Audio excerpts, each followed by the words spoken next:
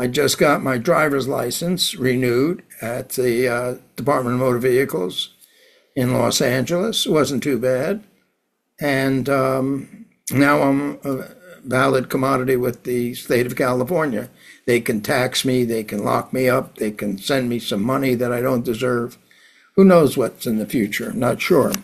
You're watching Going Viral, and today is the 9th of October 2024. There we go. I'm seeing everybody. So uh, I already recorded a hello to everybody, you know, generically. So anyhow, did you uh, you did you take a look at that attachment I sent out? I think you did, right, Steve? Hmm. Well, um, let me. It says uh, FEMA. Okay. Topics. Um, behind the headlines on FEMA, I see you mentioned here in the topics. There's a link on California outlawed checking of ID for voting stations.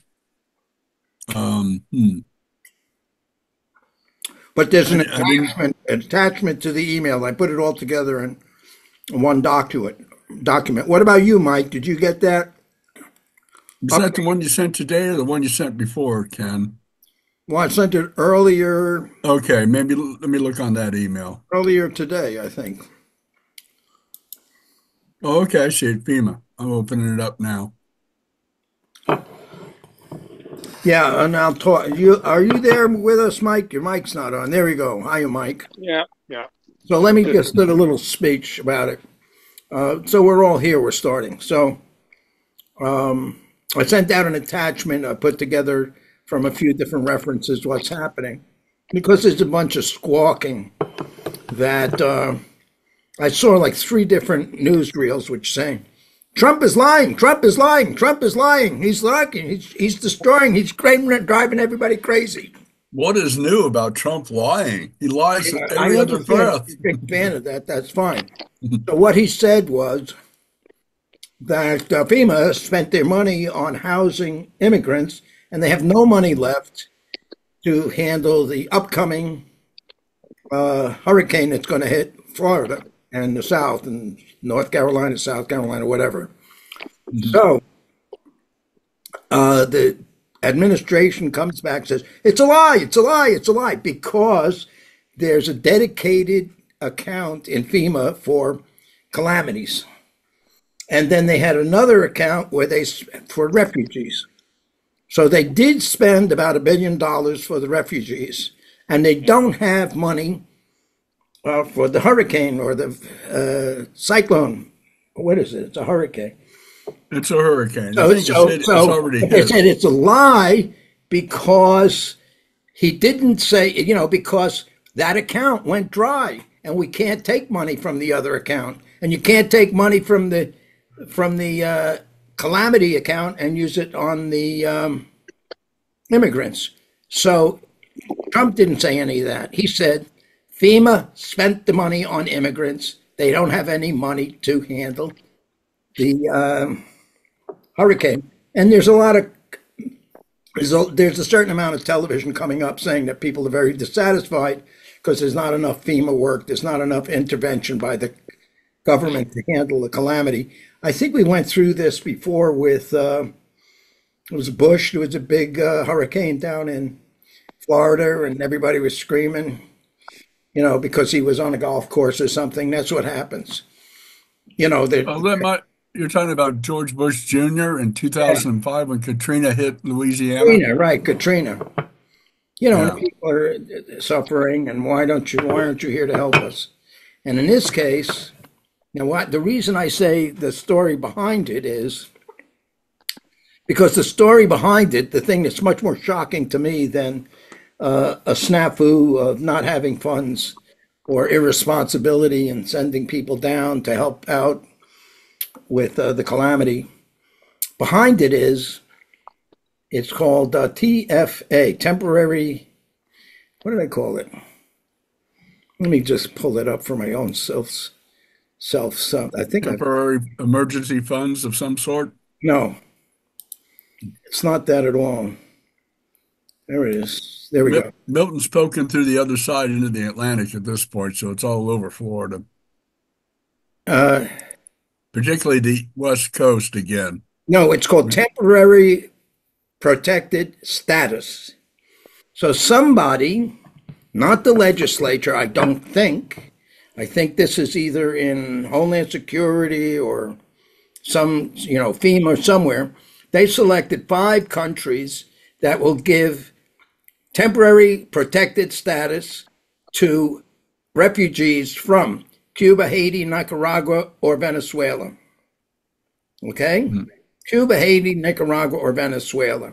They can stay here, they can work, and so forth, even if this is for illegal and they're brought in by plane. They're not coming over the border. So if they got protected status, they can come in and work and, and be like normal citizens because of the, the country they're coming from is such a problem. You can't you can't deport them. And But Can you deport the others? yeah, you can deport people who are illegal if they're not if they eventually don't get qualified to be um, refugees. A refugee has to be feared for his own existence. Somebody's threatening to kill him or harm him.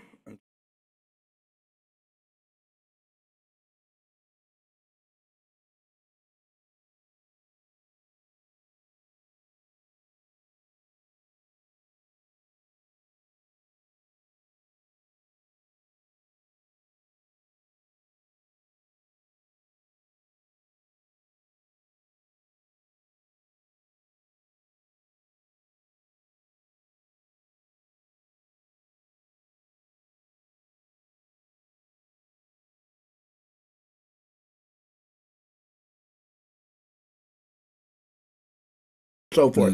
It can't be a person who's just avoiding uh, going to jail for tax evasion. It's got to be, you know, some kind of a threat. I saw a Republican write-up that said of the people of the immigrants that have been let in so far, 13,000 of them are murderers and about 16,000 of them are rapists. So Those how are, can that be? Any any thoughts on that?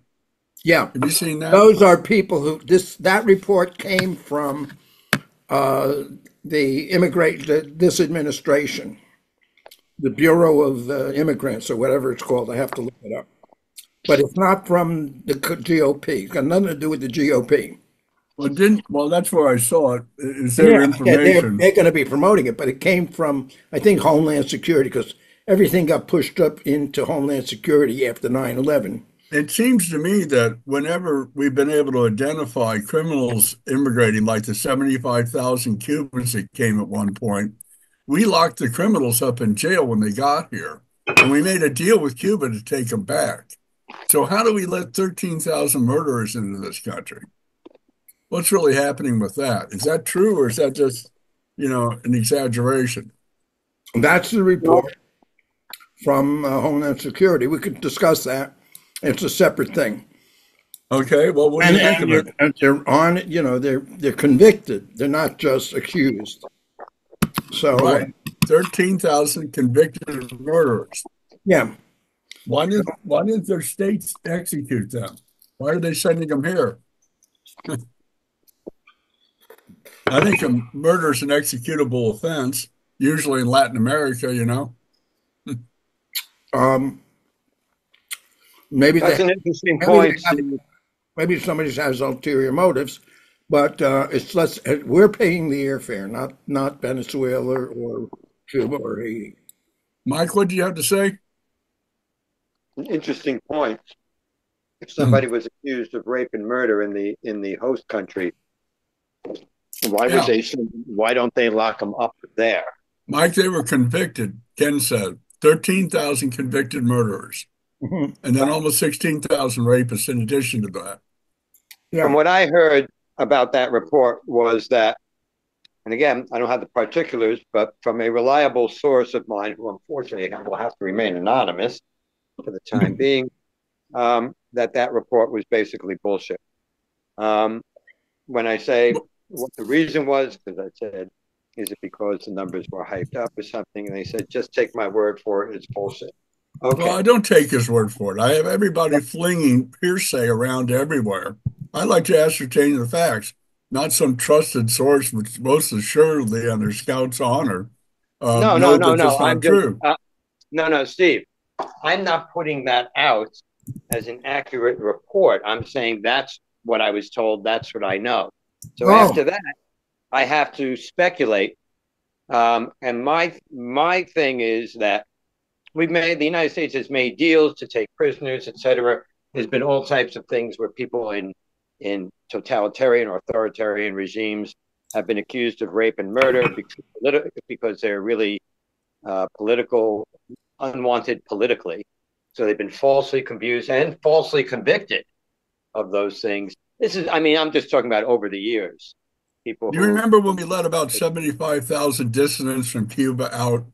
Castro said, okay, go ahead and go. And then they, they like emptied their jails. So we got a lot of criminals and, and we locked them up here. And we made a deal with Cuba to take those guys back. Do you remember any of that? I forget Yeah, I do president. remember it that. was. I forget I which do president that. that. was. It was a Democrat, though. I remember that. Carter or Clinton. The idea is we made a Here's deal. some details. Wait a second. This is from MSNBC. More than 13,000 immigrants convicted of homicide, either in the U.S. or abroad, are living outside of immigration and customs enforcement detention, according to ICE provided to Congress earlier this week. And that, Well, now, how do they know if they're, they're outside of detention? How the hell does ICE know that? well, you can ask ICE, don't ask me. You see my point? Because that's the statement that ICE is making. Why are they not detaining these murderers? Or maybe they serve serve their time. I don't know. You don't serve time for murder, Ken. Sure. You should be executed. Hmm. No, You know, if, if it's accidental, you know, manslaughter, that's different. But if it's murder, you know, there's no no pardon for that. You don't get out of jail after you murder somebody. You shouldn't. Well, yeah, these are good points you're making, but uh, so, but I'm uh, not getting into this thing with that. That that they're sending the prisoners over. People, you know, p- people make allegations. Oh, they, you know, Venezuela is trying to empty their jails. They don't want to deal with these guys. They're sending them up here. Mhm. You know, or they have a malicious attitude. And here comes Jim, and Jim's going to know because he knows everything. So, Jim, we're so glad you came. I've been looking for him all my life, the guy that knows everything. Yeah. Hardly. No, it's not. That's that's that's an understatement. That's He, Alex. kno- That's he Alex. knows everything, and he knows everyone. No bullshit. Anyway. Anyway, uh, how you guys doing? Jim knows so many people. Not only does he know the astronauts that went to the moon, he knows the aliens that they ran into when they got there.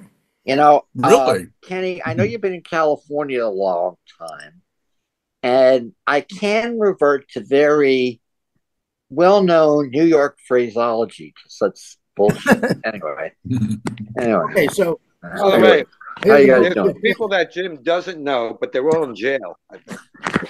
Oh, they are in jail? no, Anybody Jim doesn't know has got to be in jail, as far as Yeah, I'm no, concerned. not Oh. good news.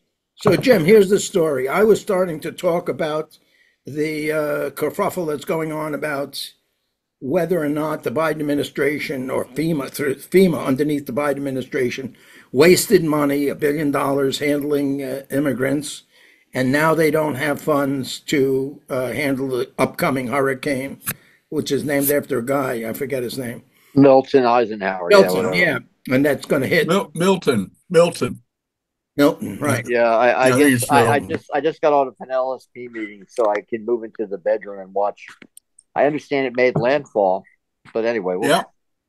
So It's there's spoken through into the Atlantic now. It's gone across. It's all over Florida, Central yeah, Florida. it's, just um, you know because uh, someone told me they recently went swimming in the Gulf of Mexico, and the temperature of the water was like being in a bathtub, a hot bathtub. That is so Mhm. weird.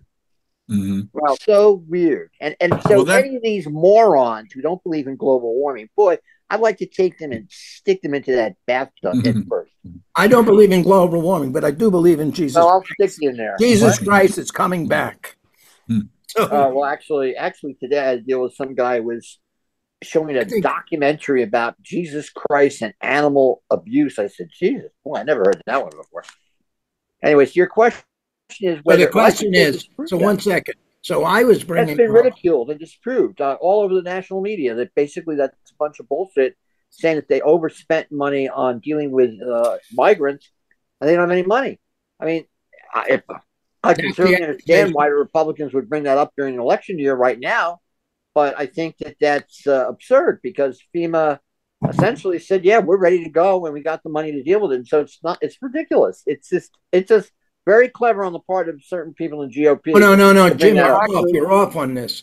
Biden said, and and other people said, the spokespeople said, Yeah. no, there's scheduled money. There's no more. I think it was Biden said that the uh, that account, that budget is used up. We don't have any more money. He tried to get the head of the House to pass a bill to get more money to FEMA because they don't have money to handle the next uh, hurricane. I'll tell Well, you something actually, I got to throw in a point of information, guys. Yeah. Um, if I can get a word in edgewise here. All right, but Uh, the government did call up, uh, did call up um, Ron DeSantis, I believe, and said, uh, "Yeah, we we um, we'd like to talk to you about getting funds, um, um, hurricane relief funds to your state." And he wasn't answering the call because he felt it was of a political nature, and he didn't want to be manipulated politically. So he refused to take the calls. Where'd you hear that, Mike? No, no, I heard that from DeSantis. When I was Who- driving home, Yeah, he DeSantis said- called you up and told you that, Ken? no, he, Yes. he was on the radio, and what he That's how I said was, uh, Kamala, uh, Kamala, Hamid, Mala, Mala. Yeah, call her anything you want. It's three syllables. Kamala Kamala, Kamala, what? Who cares? said he has, she hasn't been down here in the four and during any calamity that's happened to Florida, at least three different times hurricanes hit. She's never been here. Now she shows up to get press because she's running for presidency. I'm not interested in these games. Ken, it's absolutely critical that Biden and Kamala handled the situation, uh, handle Helene and now Milton. That's absolutely critical to the election because if you show a dysfunctional government, the Democrats are going to lose. They have Well- to show they can handle this. Right, and that's and that's why Steve, this is being raised as a bullshit issue. I mean, have Well, you ever what- been? Have you ever been in? Have you ever been in Florida after a fucking hurricane? I have as a kid. I'll never forget that. And you know, I've been out in Long Island when it got clobbered by a hurricane, and I've been out in uh, the boroughs of uh, the city of New York after Hurricane Sandy. Do you agree with me that the administration has to handle this absolutely, Absolutely. perfectly? App, well, yeah, I agree 100. percent And So I, if there's no yeah. money, you just crank up the fucking printing press. hell yeah, There's, you don't need anything else. You got to make it look like those that, that cotton and linen things that they hand out for money. Uh, that other people take it. That's all they need Yeah. to do, and they need to get a lot of that out there because there's so much destruction. Yep. Yeah, I mean, uh, these hurricanes are just. I mean, look at. I mean, we we have a close friend who lives in Tampa, and I don't know where the hell she is. She just got out of having uh, surgery in North Carolina. She had to go up to North Carolina to get a surgery up in the, uh, you know, where the where University of North Carolina is up there, where Duke is, Charlotte, and then she had to come back down because she couldn't find decent medical care in the state of Florida. So she's in the path of this goddamn hurricane. Uh, two Tampa. hurricanes. Yeah, right. She first had Helene, and now she's got this crazy shit going on.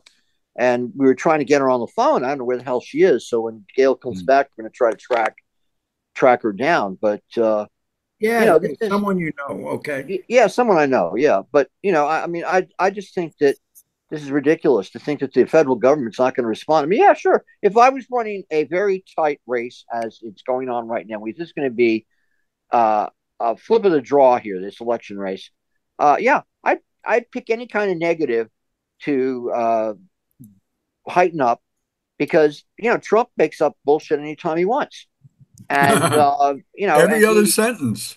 Yeah, and, and and it's not to say the Democrats are guilty of making you know half truth statements because of course they are, but uh, you know this is definitely something I would do if I was them. Like, oh wait, they're not going to help you out in the middle of a hurricane. Yeah, Christ, give me a break. The, the, the, the, the, any incumbent government with a close race like this is going to make goddamn sure that they're going to help out as much as they goddamn can people, and they and, and that's what the federal government's for. Yeah, I mean, absolutely. Hell, I mean, that's why we have a government, and and it gets into this whole question of like some of the people who are part of the Trump coalition, because I think it's a disparate coalition. It has all sorts of different, uh, you know, uh, libertarians, you know, right wing, right wing racist nat- Nazi types. There's there's a certain percentage of them like that, not all of them, but libertarians, uh, uh, Christian fundamentalists. They're a very strong part of it. I've I've seen these topologies, and some of these guys they just have no faith in the federal government. And uh, look at all the nine one one stuff. I mean, you know, I'm not a nine one one conspirator theory guy. I'm not at all. And uh, what's you know, a nine one one conspiracy theorist? What are that? What's that? Oh, um, well, You somebody who thinks Tell me that- what you're not. well, I'm not somebody who thinks that George W. Bush decided to blow up the World Trade Center. I don't feel that. How did He's never Seven come? qualified to have that level of security. He would Uh, never be informed about it. How did Building Seven come down? That's always the one they come up with, and then I, I've been in That's the impassioned start. fights. I've been in What? impassioned fights with architects screaming at. Con- I had a, a party once I'll never forget, and uh, this is when I was living with Drake. Uh, Michael will remember these big parties we used to have, and um, and there was an architect, a couple of architects who taught down at uh, at Cooper Union, and they just sat there and got into this huge fight with the nine one one conspiracy theory types because of that building seven thing. And their whole argument was that uh, the reason it came down was simply because the structural integrity of the building got clobbered because of the huge impact of both buildings falling. They Uh, didn't. They didn't get hit by that at all. They, there was a few Well- bit, a Well, bit of tracks that that hit it. It started fires, but they were not contact with either the towers in Building Seven. Yeah, but Uh, Jim let me- saying that me- the uh, Steve, let me cut in here for a second. Um, we could go first of all all, night talking about this. yeah, the structural impact on, on Building 7 didn't come from just things hitting it. There was no structural impact on Building Seven. There was Period. a structural impact on Building 7. A bit There of was a debris. structural impact on other buildings there. And I felt there was a structural impact on buildings in Brooklyn Heights because of the vibration that came under the river. And I was in Brooklyn Heights at the time, Well, so I know that. well, no, So I was fact of the downtown. matter is, Well, I was downtown in Lower Manhattan when Building Seven fell. I was over on Wall Street when Building Seven fell. Yeah, I told you he's there. That's and that's when they got evacuated. That's when they evacuated all of us, and because we had to leave where we were at 120 Wall Street, and you know it's a fair question, Steve. I mean, you know, let, like let me I, give I, let me I- give you a real quick rendition of the truth as I see it. I, They sat there for eight hours after the twin towers went down, hmm. and they wondered what they're going to do about it because the plane that went down in Pennsylvania was probably scheduled to hit Building 7. And they had it wired up for explosives, and they knew they couldn't allow anybody to come in there and discover that. So, eight hours later, they decided to pull the plug. It's absolutely inexplainable. Uh, what you're coming up with is absolutely just is so insufficient. And beyond that, you got the Pentagon, and beyond that, you have everything else. It's massive and it's brain Wait, wait, wait, control. wait, It's Yeah, but I had wait, friends- wait, I had 1984 friends who were in the brainwashing. Pentagon. I had friends who were in the Pentagon when it got atta- when it got hit. One of my one of my good friends was in the goddamn Pentagon when it got hit. So what? So well, what? it wasn't. It wasn't a mythological attack of a plane. It was a fucking. What do you plane. mean mythological attack or a plane? What are you talking about? Well, some people, of course, argue that the attack by the plane hitting the Pentagon didn't happen. I find that to be ridiculous. It wasn't hit by a 757. That's for sure. Oh, All right. Well, that's Seven All right, well- Excuse All me. If and you, you're right. We could if you have any friends, if you have any friends that are commercial airline pilots, Pilots. ask them how fast can a 757 fly without falling apart. They can't go the speed that they were recorded going okay, into the building. Oh, that's interesting, Ken. I haven't heard that. Steve, I got to Yeah. ask you a question. Steve, right. where, where were you on 9 11? We uh, We're in Los Angeles. I, I no, no. Where I was you? in Russia. I was Oh. taking a tour from Moscow down to Stalingrad on the Volga River. And everybody on the boat, I was the pet America, and they're coming up to me and saying, "Oh, horrible! New York, Washington, uh, Pittsburgh." And I'm going, "Okay, I can see New York and Washington, but why Pittsburgh?" Well, they that And then that- I didn't know that the buildings actually fell down because there's this really crappy television in the lounge and everybody was trying to watch. So what I, I, I- I got a good hotel room in Stalingrad and I had CNN and, and uh, BBC and I was astonished. I, you know, I looked at the TV and I go, they fell down. How could they have fallen down? Oh They're yeah, that was- it engineered was to be hit by planes. They couldn't Yeah. fall down. It's also totally bogus and Wow. it's also brainwashing. Yeah, Hold but hold- look, hold- I, look, have you ever been in the buildings? Have you Hold ever it. been in the buildings? I've been in the building. I interviewed American Express there. I had lunch on the 106th floor. Which one, the North or South, Tower? South Tower is right right. over the All right, I, Statue I of was in South Tower. I was in the South Tower on and off at one stretch for six months, seven months. I was on grand jury duty. They had a white Oh, wow. collar grand jury in the South Tower. I Hmm. had used, we had a client in South Tower that was the client that that and uh, that had the largest casualties, Cantor Fitzgerald.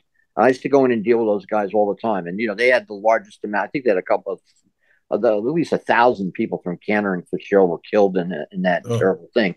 And when you got up in the beyond the when you had to switch at a certain level to the to the tap the, the elevators to take you up to the top, it was Hmm. weird to be standing because you could actually feel the goddamn building sway in the wind. I, I could feel the vibration in the floor all the time. I, I didn't know what it was, but I did. Yeah. All I could. The floor was vibrating all the time. Yeah, yeah, it was weird. It was Okay. weird. It was very weird. And So- Yeah. they only rented out half of that building. It was a white elephant Yeah. from 1970 when it came online. There's no interest for terrorists to knock down the World Trade Center, but No. they sure wanted to get rid of that so they could redevelop that land. Well, wait a minute. Okay, Let me bring it. something in here. And that- it was full of Hold it, Oh, hold it, hold it a I'm gonna second. I've been- mute everybody. I was online first, Ken. yeah, I Hold it. know you were. I just want to bring one Okay. thing up. All right, wait. Before you, One thing that Steve can tell us that nobody here seems to know. Steve, how many architects are part of architects and engineers for 9/11 Truth? What um, approximately? Wait, you got to unmute, Steve. You got to unmute. How many architects and engineers are part of architects and engineers for 9/11? Last time I saw Richard Gage, he appeared at our, our UFO group, and we went and had uh, some drinks with him afterwards. And this was about seven or eight years ago. And at that time, there was 1,500 to 1,600 members that were architects and engineers. Okay. I actually Thank knew you. that Get that. Jim? I don't know who you were talking to, but there's guys. 15,000 architects and engineers. It 1,500, was Ken. not what the government said. guys, if you, 1,500, not the three- if 1,000. you guys want to talk among yourselves, Okay, no, no, no, we're done. No, no, Ken, let Mike talk. no, no, no, no, no. Don't worry about it. I mean, you you got a good conversation. Uh, no, no, no, no. No, we Come want on. you to join the conversation. What do you have to say? No, what do you mean join the conversation? I've been trying to join the conversation for the past 10 minutes. You succeeded. Go ahead. You have the floor. Everybody else is muted, including me. There was a reason I was asking you where you were. And where Ken was was in Los Angeles. Jim was in New York and I was in New York. So don't you think there might might be a possibility that we might know a little bit more those of us who were in New York and in viewing distance of what happened that we might have a little bit might have a little bit more information than people who weren't in New York. Sure. Okay. Go on. So therefore, I mean, I know people who, first of all, who saw the planes hit. yeah. okay. The plane's hit. I didn't. I saw one of them fall, but I didn't see. Uh, I didn't say the planes hit. These are people. I know they're not lying to me. Okay. Otherwise, That's not an issue. We know the plane's hit. So what? So what are you saying? The planes hit, but you're saying that there were people that felt people. There was no reason the terrorists had for knocking down those buildings Well, that's also, but the thing is that the buildings were engineered to, to withstand the collision from a DC 10. All right. They were bigger planes, but they were still engineered so they wouldn't fall down. The central core is that strong. the except for one thing. They're designed to, to they may have been designed to suffer the impact, but not from uh, planes that were loaded up with fuel. And the fire. No, no, they were designed with planes that were loaded up with fuel. A DC-10, a smaller plane, when there was really came online in 1970. Yeah, I don't know any building that could that wouldn't be substantially damaged by fuel oil being. Uh, um, oh yeah, substantially damaged, but not collapsing. Well, damaged to the point where they could collapse. All right, Mike. Know, I, don't, I don't mean to was, question your religion. Go ahead. I, I don't. The Titanic was also unsinkable, but it sank. No, it wasn't unsinkable. Well, they That's said not it true. was. So what? Like That's they more may hearsay. have said that the buildings were were uh, able to withstand the impact of a fully fuel loaded DC 10, but that doesn't mean it will always happen that way. Yeah. They okay. may have been wrong, or they may have been pumping, just hyping it. So the fact why don't we talk it, about if you're going to believe, if you're going to believe a conspiracy theory, you should also be open to the fact that maybe the report about it being able to withstand the impact of a fully fueled up DC 10. Mike, maybe I'm not talking about the something wrong with that report. And Mike, I'm not Well- talking about the theories. I'm talking about the facts. I haven't broached any theories about who did it. I'm Well, talking no about the fact. facts. there's no the only fact on whether or not it was able to um, withstand the a fully fueled airliner um, impacting it. The only fact we have about that is that it wasn't. It wasn't able to because it, it it's no longer there. So that Oh. Yeah, but it's not from the airplane thing- that's not there.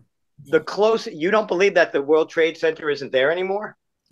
No, it was- Mike, why don't you listen to what I say instead, instead of distorting I'm asking I, you. I said, I said it wasn't from the planes that it fell down. There were explosives and it was blown up. So in other words, they they set the explosives and timed it to the exact, almost the exact point that the planes hit. No, no, or no. they We saw an opportunity at that point to collapse the buildings when the plane hit. Mike, do you want to modify your, your take on 9/11 at all? If you don't, then we don't need to talk about this. Let's talk about something you don't believe to be true, yeah. not 9/11. Well, look, I don't need to talk about something. You brought up the topic. We were talking about whether or not the topic that Ken brought up was whether or not that uh, um, FEMA or the emergency, all the emergency Right, right. agencies ran out of money. That's what we were talking about. You brought up the 9 11 thing. Yeah, Uh, so let's I, I apologize. Okay. Let's go back to the subject that. yeah, let's uh, go back to the subject because the 9/11 we could to the rest of 2025 we could talk about it from the beginning to the end. So, you know, from like five years before it happened to 20 years after, and there's 20 hearings and everything. And I do want to say one last thing. There's a long history of steel buildings which burned and then collapsed. And the long history is 9 11. It never happened before and it never happened afterward. That's no true. steel building ever collapsed from a fire that totally destroyed everything in the building. Guys, fall down. guys, So that's just 9 11. Go back.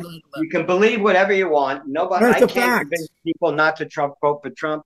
I can't convince people uh, uh, uh, to change their thoughts, and I'm not. Well, wait, as long as we all agree Jesus is going to come back and save us. Yeah. And we If don't Jesus came back, he'd leave in 30 seconds. Right, I agree. Okay, Now, Let's go going back back, to- to your topic. let's get back to my topic. So, uh, in an email that I said update, I attached a bulletin about uh, the FEMA thing, about not having money and so forth. But underneath that is um, temporary protected status, TPS.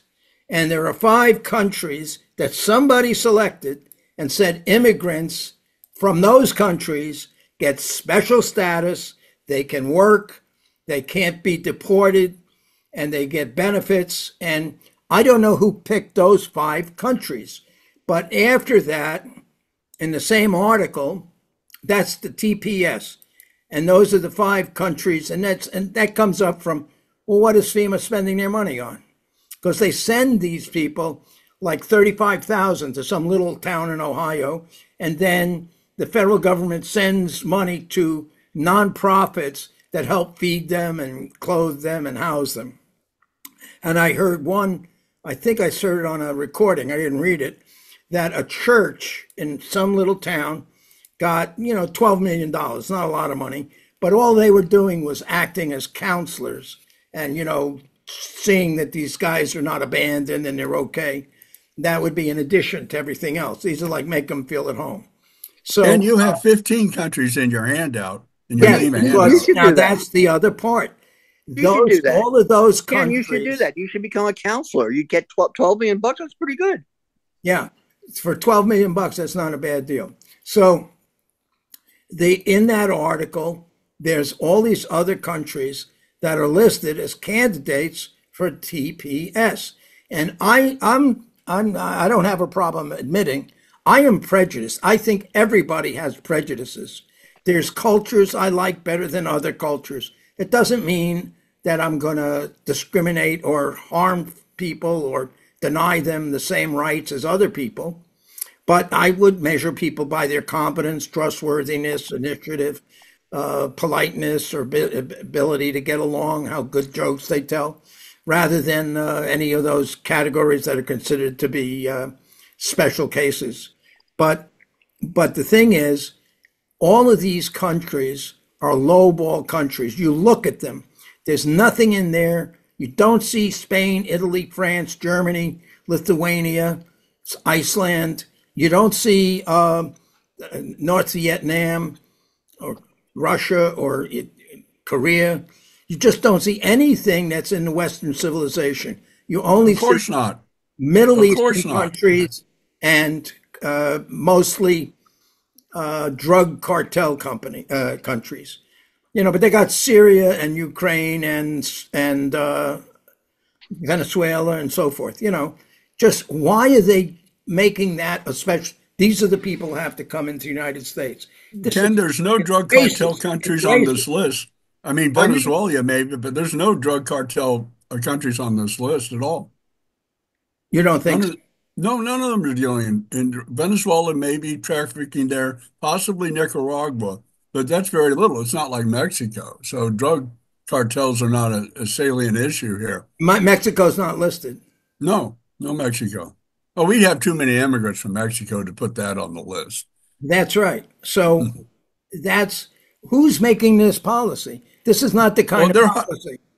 There are wars, my- even hot Let me wars. finish my question before you. Sorry. These kinds of questions are very significant to the culture of this country, and it's it, it's everybody should have a right to participate in deciding what our immigration policy is. It looks to me like it's coming from a select group of elitists who have an attitude about what's supposed to happen, or maybe they think we're like uh, a welfare company, uh, you know, well, welfare to the world, and we should be Christian. And if anybody's hungry in any country in the world, we should have them come here for dinner. I don't know where this comes from, and I was wondering if you guys know. I suspect should we do, coming Ken? from the UN. What do you recommend, Ken? What should we do? Ken, uh, Revolt.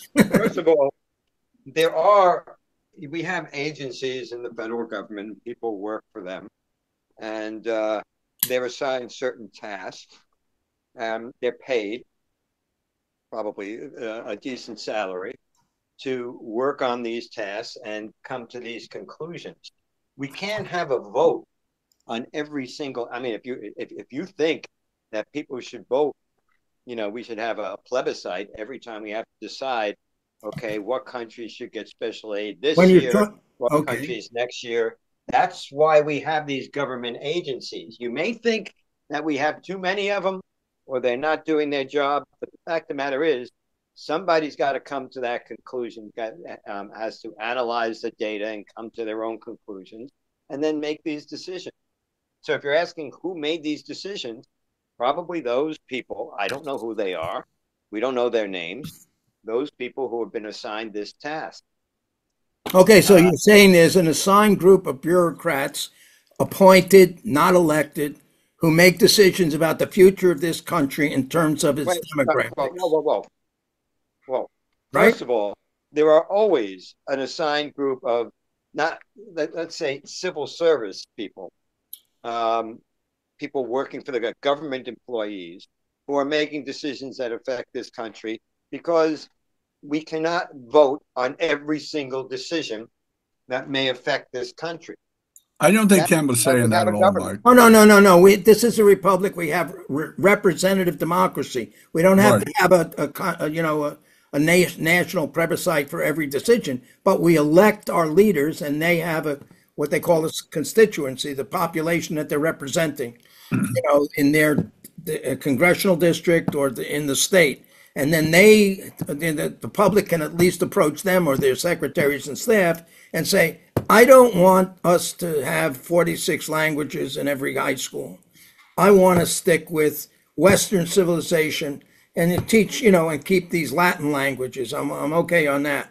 But I don't want us learning 47 different languages and, and putting a school burden and, a, and an electoral burden in every, in every election to carry 46 different languages all the time. I think it, it violates. So if you push, you can push on your representative and find somebody who'll stand up for your viewpoint and vote for him or not. But it doesn't require a national plebiscite to make these decisions. Okay, I'm saying these so decisions are made Contact your outside of local representative and tell them what you just told us. Yeah. We can't do anything about it. Yeah, well, I know. I'm, I'm not asking you to do something. I'm wondering if anybody knows who's been making these decisions. Yeah, it should be Biden. Biden determines the policy of the government, what they're going to do with the with the refugees. It comes from Biden, and then he directs his his different different departments to do what they need to do. Same old thing. Well, but okay, you think it's Biden. How many immigrants have come into this country? You guys got any idea? I hear between three and five million. Anybody have a better figure than that? This is we live in a nation of immigrants, so we we we're, There's that. we should constantly be taking in immigrants. The, the I'm big talking about the ones that the Republicans are objecting to. How many how many millions have we taken in this recent uh, in, inflood? Oh, 10, 10 to 15 million.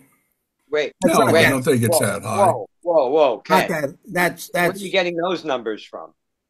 Oh, from Hey, the Ken- uh, ICE. Ken, will you unmute Jim so he can talk? Yeah, no, he's got to unmute Yes. him. Can't you Unmute. unmute him? Jim usually shows up as a courtesy, but then he spins off. Hey, Jim, hey, Jim, come on. What's your answer? Who's making these decisions? So we don't know. Okay. I don't know either. I All know right. that, but, but I have, you know, and uh, you're right. I should talk to a congressman that got that answer or, or a senator. So next topic. Oh, What was the top we were talking about before? Uh, the topic was whether or not we used up the money for emergency funding for for Hurricane Milton because of, of of immigrants. As Right. far as I know, we have not used it up. I don't didn't hear Biden say um, we have no money for that. I didn't hear any of these reports.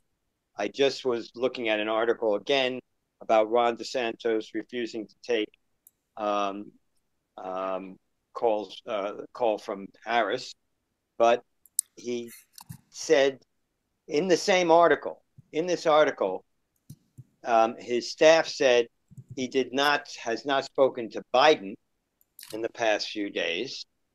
Biden says he uh, apparently the White House said they've been trying to contact him, and he said he did speak to Biden in the last few days. In this same article, said it, it gave both sides. So he's claiming he did. His staff and the White House is claiming he didn't. So, you know, make your own decision. But the fact of the matter is, apparently, there is money or there is help available for Florida. Whether or not DeSantis is making use of that or not, that's another matter. Uh, basically, a- at this point, we'll have to see what happens. okay. I I got another piece. To politicize emergency help, I don't care who, which side does it, would be, and and again, I agree with Jim. Uh, um, the Harris campaign would have absolutely no reason to withhold funds for political reasons. The Republicans would have incentive to withhold accepting those funds or to um, bollocks up the works for political reasons, but that doesn't mean they're going to do it because it might help the uh, um, the presidential campaign. Okay, okay. Shit won't help DeSantis. Okay, I just looked up for a reason here. People who ask, why are so many FEMA jobs unfilled? In a report last year, the Nonpartisan Government Accounting Office found that 35% of FEMA's positions were unfilled, partly because of rising disaster activity during the year. Okay, this, and it was a scenario that they, uh, FEMA has 11,400 employees. That's a gap of 35%. Wait, wait, wait, hold, hold. 35% of wait. people to go out and help. Ken, question. Yeah. The article said that the reason they were unfilled, the jobs were unfilled, was because of the number disaster of, activity, rising disaster activity. Well, is what FEMA that doesn't make sense. Huh? It doesn't make sense. If there's rising disaster activity, then you'd have more jobs filled. Yeah, well, more jobs available, but they're not filled. Yeah, well, a lot of people don't want these FEMA jobs. Why they aren't filled? They don't. People don't want to do this work. Don't want to do federal emergency management work.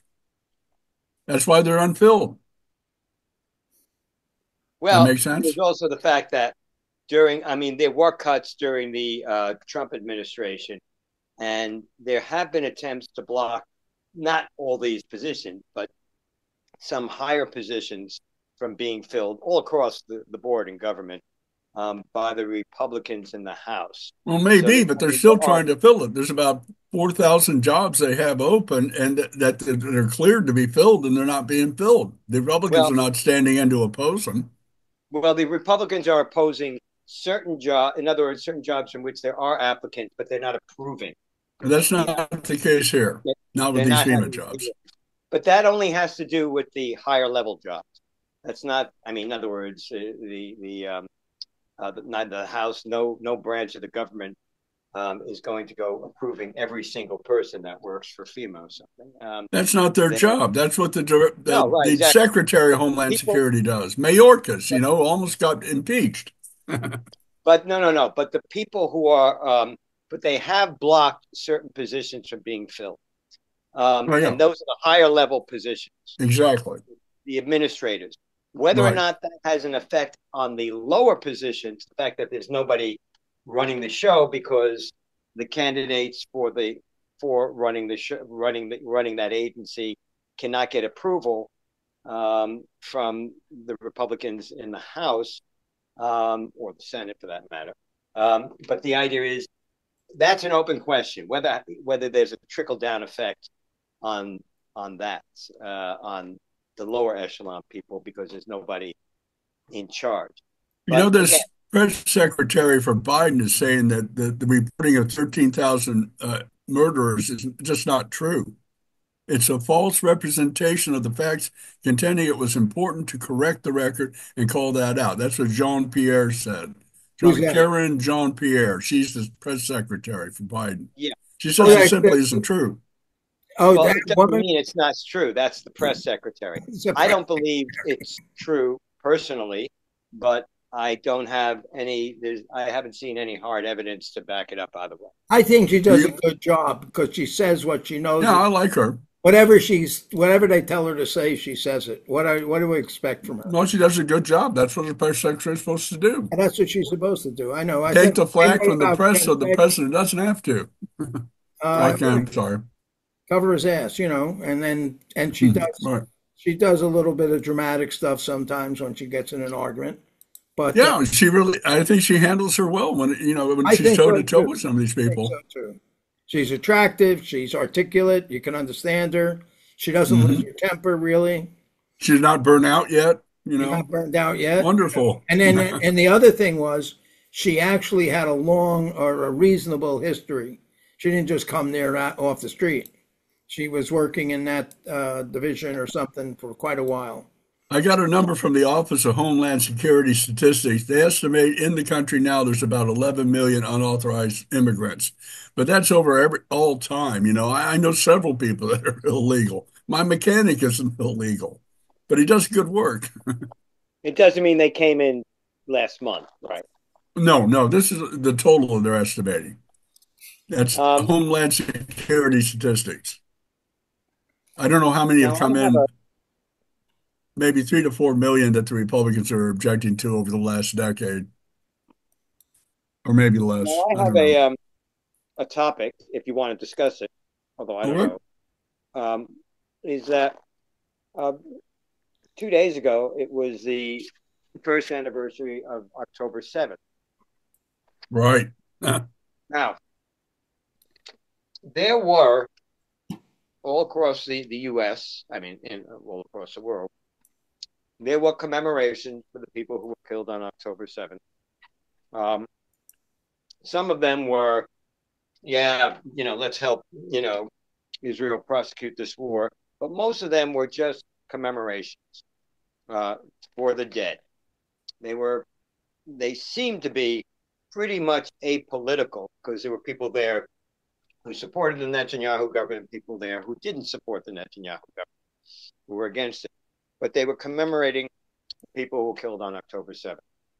On that day, there were also demonstrations, apparently, from what I can gain, and people have any specific information, demonstrations against Israel um, for the Palestinians. Now, again, if you have a demonstration you say, yes, the people who were killed on October 7th, it was a terrible thing, but we, we also want to bring to attention the, you know, the, people in, in Gaza who are dying or in Lebanon. Oh, That's fine. You're still allowing the commem- commem- commemorations to go on. You're not dishonoring those commemorations of the dead, of the innocent mm-hmm. people that were killed. However, there were some demonstrations, apparently, from what I can gather, in which, um, from what I've heard in the news, and again, if you guys have harder evidence uh, for, for or against this, let me know. you have a Apparently, there was contentious point? That there were some demonstrations that were like pro Hamas that were celebrating this, uh, you know, celebrating as, as a victory. And there were some people, a lot of demonstrators, who were, um, I mean, if there was one day, let's put it this way, if there was one day during the year that you shouldn't be celebrating or pro, you know, or trying to put the blame on Israel or something for what happened happened on October seventh, it would be every October seventh. You kind of like, this is my opinion. You don't go to somebody's funeral, no matter how much you hated them, and spit on their grave unless you want to shit kick that. But the fact is, so what I wanted to find out is, does anybody have any information on how many demonstrations? Because I've just been getting it from media reports, but they haven't been very specific on how many demonstrations there were that would that could be considered disrespectful of the people who were murdered on October 7th. You guys hear anything or anything? Ken? Oh, I'm I- sorry, I but would- there's something else. What's the question? Is celebrations or memorialization of the October 7th uh, Were massacre? there pro-Palestinians demonstrating joy at the killing of 1,200 Israelis That was on on October 7th? October 8th. There was a lot of report of that. No, no, no, no. I'm talking about two days ago. Oh, I don't know. Well, the, the, what happened in Columbia? That's the big central point What about happened in Columbia? Yeah. Jim knows he was there, but Columbia University, Oh, you know, in New York. no, but Mike, when do you think that they'll, and what do you think would be the proper celebration of the 40,000 Gazans murdered by Netanyahu? When should Well- that be celebrated? I wouldn't. I, I wouldn't go around celebrating it at, at the funerals of any of them. Yeah, that might be unwise. Right. But should they, should they, so what sort of mourning should they go into to commemorate that? Um, considering, I uh, don't know. I'm just. I really, to me, it's not even a matter of of uh, whose side you're on. It's just a matter of civility. With and as we know, um, as Donald Trump, among others, has, in my opinion, has so been so fervently trying to get rid of the very notion of civility. But the idea is that if we can't have this kind of like respect for each other and as human beings on the very basic level, okay? All right, they just look, I'm going to fight this guy. as as much as I can. But he just lost his dad or his wife or whatever. Let him go. It, it, it just happened today. Let him go. Or this is the one year anniversary. Let him go on that one. I just find there's something because we talk about inhumane. We talk about inhumane what Hamas did, inhumane about the um, the what the Zionists did. Any inhumanity there? What the Zionists are doing? By the way, be careful when you say Zionist. okay. The Zionists, um, I'm a Zionist, but I ain't a Netanyahu type of Zionist. Did Netanyahu commit war crimes at this point? Well, they're all committing war crimes. Who? Who else? Hamas, obviously, Okay. Hezbollah, and now the Netanyahu government seems to be, uh, well, I don't know. Some of them are dubious, but there are some that I would consider war crimes. There was a couple of incidents, but to see in a war, when you know, in other words, you could say Hamas is committing war crimes by putting their fighters in civilian areas. On the other hand, where else are they going to put them? Uh, There you go. It's not that big a place. They don't have bases. They don't have that that kind of army. Um, but on the other hand, if that's where they are located, would the um, Israel attacking? In other words, if Hamas has a is operating from a building from which they're firing rockets, I'm just giving an example, and Israel hits that building, and 20 civilians are killed there because they happen to be where Hamas is firing the rockets. Is that a war crime? Look, look at the disproportionate no- nature of this. 1,200 Israelis died, and over 40,000 Palestinians have been murdered in this onslaught intentionally. They're starving them to death. They don't even give them water, and they're just murdering them. Uh, so I just can't see how that's not war crimes. What And is, the what, I have a question for Steve. 1,200 to 40,000? Think of the No, relativity. wait, wait, wait, wait, wait, wait. They're an inferior race. Oh, oh, oh, oh, the Thank. Philistines are an inferior Hold it, hold it, hold race. it. Steve, what's the proper proportion? What's the many proper did they kill? proportion? What is it? Four times? it- maybe they should have stopped at a thousand. A thousand Oh. people? But a thousand So it should be Jews were killed. Yeah, right. Okay, Move so- everybody completely out of Gaza and then really pulverize it, but get the human beings out of the way and then go in and, and get the, the mines and everything. They put And- drop atom bombs on it. They got a few of Wait, those. wait, wait, wait, wait, wait. Steve, they dropped leaflets. They made announcements. They sent text messages, the whole nine yards, telling people to leave the area. Now, They told them to move Yep. south where they still murdered them. well, no, no. And then they told them when they were when then they told them to move south. And then when they had to attack the south, they told them to move back north. Don't get me wrong. It's like a ping Okay, pong. well, how many of that 40,000 were wait, wait, wait, killed Steve, properly? Steve, Steve, let me How many of the 40,000 were killed you properly? disagree with something I'm saying. The fact is, it's like a ping pong match, but there was advance warning given, which is something that's not a militarily logical thing to do. They couldn't get out of the way. the They pushed them in further So down the into the the Gaza matter Strip. is that the is the Israelis have done quite a bit. Whether or not they've done enough is is, is maybe in question, but they have done quite a bit. Certainly more than Hamas did to give civilians a chance to get out of the way, however limited that those chances might have been. So the fact of the matter is, you cannot compare Israel to Hamas. First of all, you can't compare them, and uh, you can't even compare the Netanyahu government to Hamas because I have seen uh, the Hamas educational materials, their their children's television shows.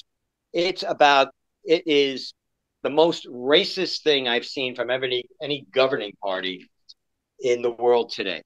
And coming from an Incredibly inferior race like that, it is. and Naziistic racist. When you have children being told and and celebrating and drummed into them that they must kill Jews, not Israelis, Jews. I mean, Israelis are included in that. To me, that goes back to Nazi Germany.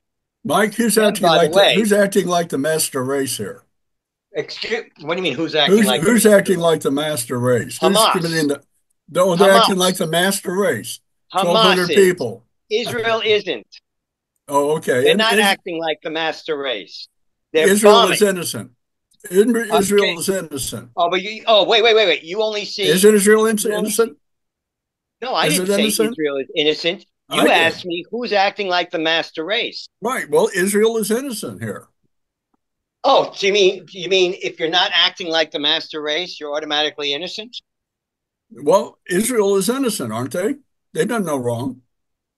Well, if you think so, that's fine. What do you I think, didn't Mike? say that, What do you but think? if that's what you think, fine. Well, that's what I said. What do you think? But Israel what is- do I think? I Israel think has no blame Hamas is more guilty. Hamas and Hezbollah, and to be quite honest, Iran are more guilty than Israel. This just doesn't mean that Israel is guilt free. So, how many should Israel kill because of the guilt of these other parties? Well, actually, Okay, wait a minute. Now, hold a minute. Wait a minute. Steve, if you ask a question, you got to wait until the person gives a full answer. You can't then jump in with another remark when they're half done. You got to do that, otherwise, it, everything degenerates. Go ahead. What's a proper pers- proportion?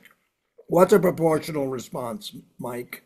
there is no proportional response. Although there are people in the Arab world who said, uh, in the Arab world, in the past, not recently, who said, in order for Israel to um, to stop stop us from attacking them, they would have to kill at least ten times as many of us as we kill of them. Now, Okay. I don't say I, I don't say that should be that's something that should be used, um, and um, I don't say that that's what it, that Israel is using that. Hope not. But the fact is, somebody in the Arab world several years ago said, "Yeah, the Israelis have to kill ten times as many of us, otherwise we won't stop." Well, that was that person talking. So, but the fact of the matter is, it's not a matter of how many more, how many of this. It's what are the circumstances. All right. You can say that the United States was guilty of war crimes. The United States and the Allies during World War II were guilty of war crimes because we killed more, so many more German civilians than American, Canadian, or even British civilians. We killed many more German civilians were killed. So are were we the bad guys? Is is were the Nazis was Nazi Germany therefore on the uh, have the moral upper hand? The fact of the matter is, it's it's not a matter of if we are going to bomb somebody, if you're going to bomb a military or industrial target. That's what we did during the Second World War. Anything that would help their war efforts, but did not include targeting civilians. If you're not targeting civilians, and I know there were arguments that the RAF did target civilians during the war, they actually targeted infrastructure, which is resulted in the death of many civilians, but it wasn't designed to kill civilians. If you are targeting civilians, you can consider that. In other words, that's your target. That is terrorism. And that would be a war crime. If you are targeting a military base, which is in a civilian area, surrounded by civilians, in a densely populated area, but you must hit that base, then that is not, it depends upon how you do it, but it is not necessarily, it is certainly not automatically a war crime. And it's certainly not as much of a war crime as, as, as when you directly attack those civilians. Okay, could you clarify? It doesn't something? have to do with numbers. Numbers have to do with the with the strength, the power of the country of whatever country is doing it, and the facilities they have. So numbers, you can't just say, okay, we should only kill as many of these or as many of those. That's not how it works, and it's certainly not how it works in a war. Go on, Ken. I'm sorry. Uh, no, I, I, because you studied more of this legally. Um, you're saying that when you say war crime, you're talking about the Nuremberg trials or the UN status. Who's defining what a war crime is right now? What what rule are we going by? Because I hear so many radio programs where they say the United States is violating international law, United United. This guy's guilty of guilty of war crimes. Well, what are they talking about? You know, who says? Because on the other hand, you say, well, the Palestinians and the UN said they have a right to use force to stop local oppression from uh, the IDF. You know, because people, uh, you know, force them to line up before they cross over to go to work in, in Jerusalem. Whatever they say, you can use force to resist occupation. So somebody's making up rules like in a in a digital in a, a you know a, a, what do you call it a, a, game you know the kind of games people people play on the computer. You know what do they call them? Not, not called digital games. I forget what they call. You know, video games. What do they? What do you call it? I'm sorry, I'm gonna lapse. Video games. Video games. Yeah, yeah, yeah. They're making up rules for video games. You can kill three. If you kill three zombies, you get another 40 pounds, you know, 40 cartridges for your gun. If you kill a monster or a troll, then you're gonna you're gonna you're gonna be able to cure any kind of illness. You know, they just make up rules for the game. And then okay, let's not use Nuremberg standards for assessing war crimes. Let's use Ken Ander, Ken Aaron standards for I'm war not, crimes. No, who, I'm saying, who is anybody committed any war crimes here in the Gold Gaza affair this last year? Most Anyone? countries, most countries in the last 50 years have committed war crimes. Most what is, what is Israel's war crimes here? Here? Well, that, that, let's not judge that. Let's see what they've Why done not? in the past. Because First of all, too much in the uh, present. It's nobody it knows takes time to evaluate what was happening. Crimes. If something is a war crime, that Yeah. means it has to be evidence has to be brought in, has to be tried. According to, prosecuted, but that's my question is, where are the standards coming for the protocol and the standards and the barriers and the, They brought Milosevic in from Bosnia and from Serbia and uh, convicted him of war crimes. Uh, can they do the same thing with Netanyahu if they can get a hold of him? I, I did a bunch of Put him on trial? the International Criminal Court, and the problem was with the International Criminal Court, they wanted justice. Mostly, they wanted to get uh, dictators who, you know, Idi Amin and so forth. But what happened was they were just going for celebrities in Africa. They didn't. They didn't try to handle uh, Obama for his war crimes or Bush. Bush What did. Obama do? I think Bush killed a million uh, Iraqis in the you know the invasion of Iraq to get Saddam Hussein, for, who had you know uh, missile silos underneath the chicken coops or whatever he said. What did Barack Obama do? Uh, he uh, he attacked. Well, first of all, he he put out a hit squad to get rid of Osama bin Laden, but also I'm not sure. I wasn't keeping track, but he he deported a lot of people. But he also uh, bombed, I think, Syria when they were fighting with ISIS. You know, because I even Trump did that. He you know took attacks on Syria. And, and to get rid of the ISIS troops. I'm not. I didn't follow. I'm not like Mike and these other guys followed military. I think you might be right there. Uh, But um, you know, about- you can't be. Excuse me. You're not going to be the president of a country of 250 million people who, or 320 million people, who wind up being the, currently, whether you like it or not, the the the best answer of a police force in the world, and to, to keep the lanes open. People are going to die occasionally, this way or that. It's going to happen and uh, you know, and it's going to be beyond regulations. I don't even know when, in historically, all of a sudden the CIA is shooting people. They're supposed to be a central intelligence agency, but somewhere, I think it was the first Iraq War, they said, "Oh, the CIA bombed this place." When did they become an active military force? Good question. You know, who the hell did that? It's kind of snuck up on us, you know. and Well, it was, and, I, and it's, and I'm not saying I could tolerate it if they were doing it covertly, and they said, "Oh, I hope you don't catch us. We're cheating. We're assassinating some people." But they were doing it overtly. They they started Yeah, well, as if they were the military. CIA now has a military arm. By the way, there are war, there are um, um, war, in other words, laws that have been passed since Nuremberg on what is a war crime Okay, that are accepted by a large amount of countries. There are countries that don't accept um, don't accept that those definitions, and therefore they are ap- operating outside of that international, let's say the, that particular international court. So, if you don't accept the agreed upon definitions of a war crime by that court, then um, by the same matter, you're not protected by them. So, Wait a I minute, mean, wait a minute. That's another rule. You're saying under people who don't follow this don't get covered by it. Well, It's like an insurance. You're giving me standards like a contract. Who wrote government- the contract? Who invented it? no, Ken, Ken. Governments that, in other words, if you are outside, if you're not part of that, let's say there's an international court, and those people who adhere to the international court, they participate in in setting, defining what is a legally, according to the legalities of the international court, what is a war crime. Those people who are reject the international court, they don't want to participate.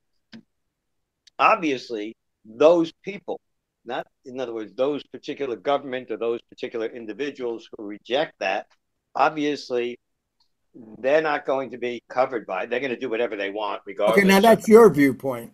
Is that No, no, no, part of- is that part of the contract? If you don't No. participate with us, you're not going to be protected by it.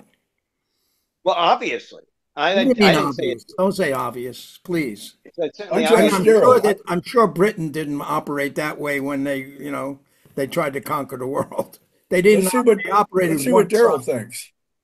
no there That's was no terrible. international war crimes court at that time i'm just saying that there is an international war crimes there there are war things that have been defined as war crimes legally by an international courts starting back in Nuremberg with the Nuremberg uh, um, trials, but it went. It, it's still being. They're still setting new standards today.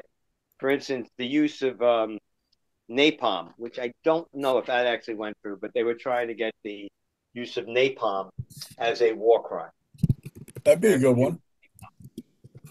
That's that's one example of something that happened, let's say, in the past thirty or forty years.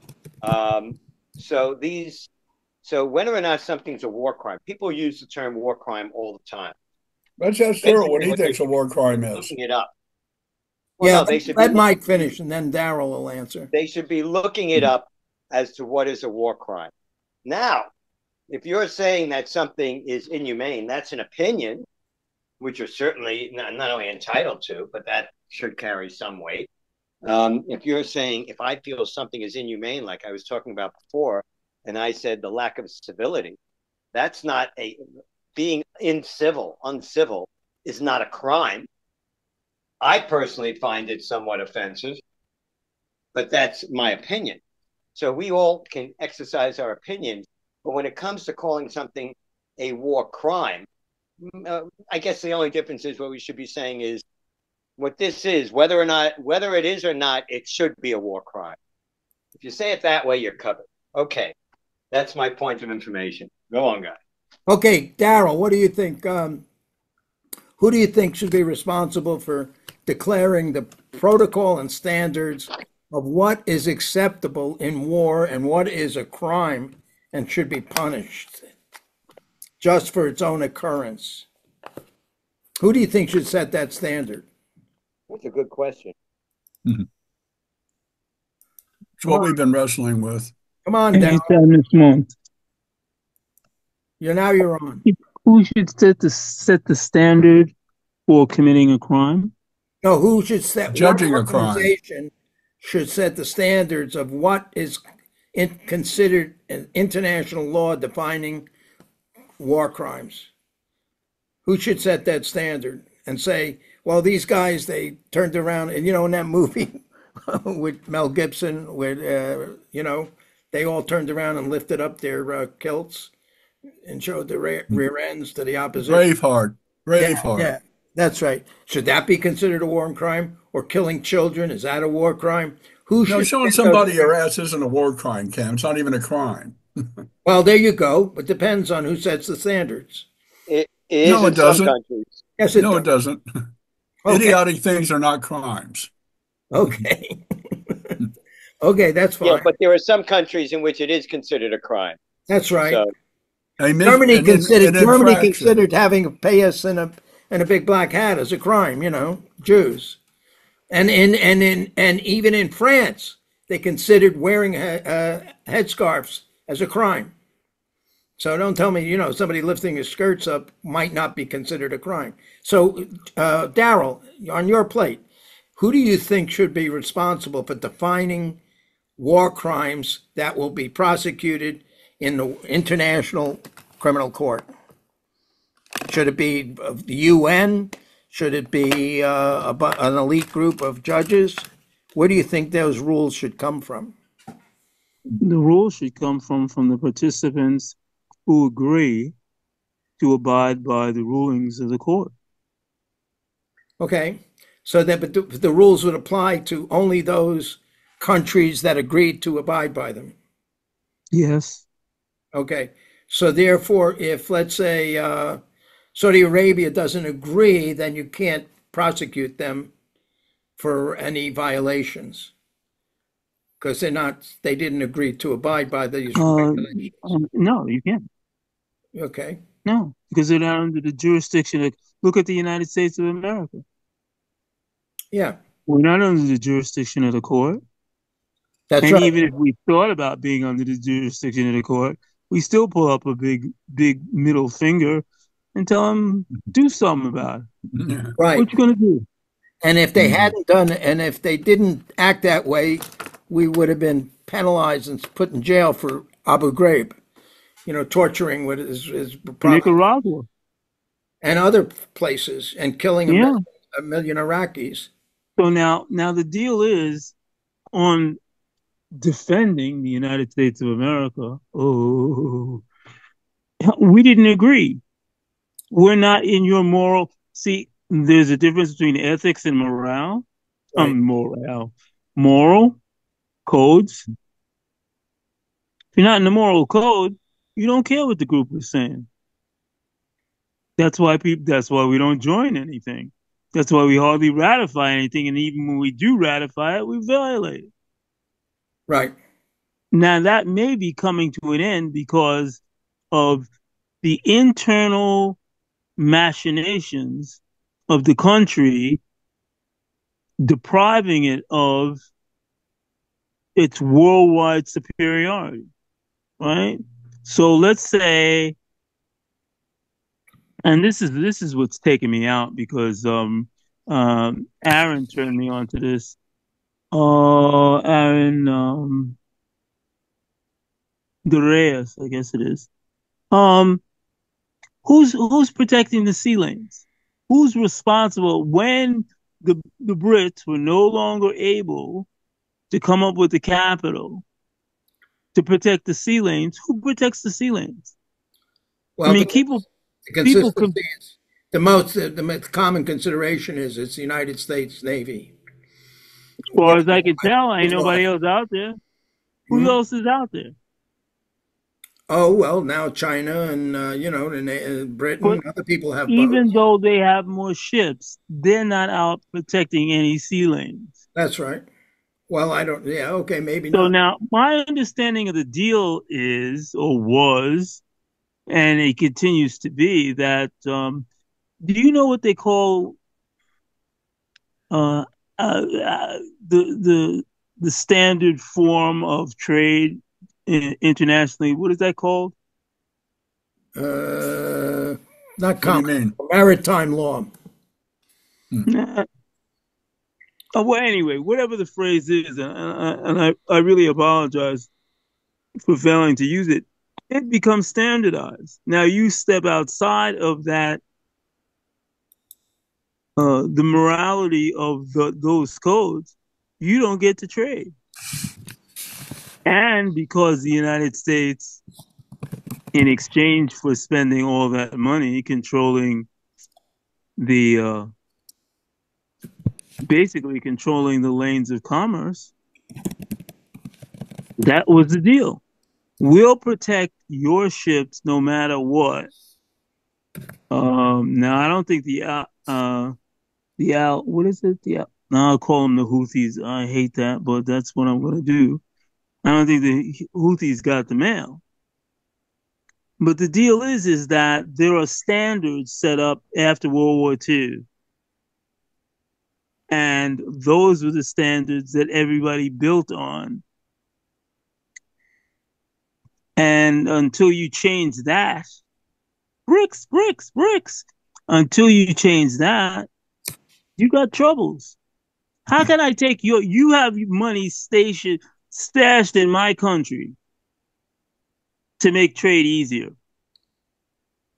I get you angry and you say, I'm embargoing that money. And by the way, we're taking your oil gas stations too. But Maduro is the criminal? Now, Doesn't he may be a criminal because he won't give up on this election. A lot of talk about this particular election. And a lot of talk about Nicaragua because Danny Ortega just put his brother in jail. Have not, I have insufficient, well, I'm really souring on Maduro's thing, but I have insufficient Mhm. information to substantiate one way or the other. But I know it isn't correct to just snatch somebody's stuff because you got a gun, Mhm. And that's what we do. How do you feel about Ortega now? I'm I'm unclear. I, I, he from back even before this late this latest thing where his brother gets to go to jail. Uh, I, w- I, I wasn't really a great Ortega fan after the first uh, revolution, after he was um, basically overthrown. What can be done about Maduro? Any thoughts on what can be done about Maduro? Yeah, give him his money back and let him pump his oil. Give him his money not- back and let him pump his oil? Yeah, and Citgo too. What What is our rationalization for doing that? We don't well, like you his said gov- you have a, you see you have a problem on the border with Venezuelans coming across. They'll stay home if they have a way to eat. Yeah, right. Yeah, I mean, all these problems that we. all day deodorant. You smell amazing. Thank you. I need that. what? What The was all that? day deodorant. Oh yeah, the sorry. deal for that. is, the, the, no. What are you sorry about?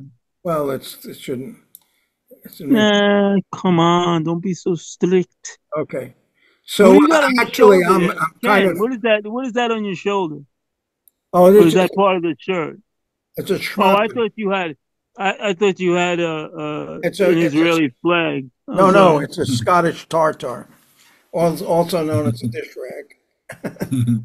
So I'm really impressed with uh, your practical, your pragmatic viewpoint on, you know, the reality of international relationships. Well, I mean, just look at it. Why are people coming here, even though they know this is a racist, non-democratic, crazy-ass nation? Because you got a shot, at least, at least as good as the lotto, and where you're living, totally under oppression, people driven crazy, shooting guns all over the place, raping women. I mean, you know, uh, look at the Congo. How many people have died in the Congo since 2000? And then at that point, it was pretty high. The, the death rate was pretty high. You don't hear it. People mumble. What's happening in the Sudan? What's that all about? Two guys and you can't stop that? That's all it is. Two guys. One guy wanted to demote the other guy. He said, screw you. Let's blow up the country. Yay. Well, I mean, they were pretty wild bunch anyway.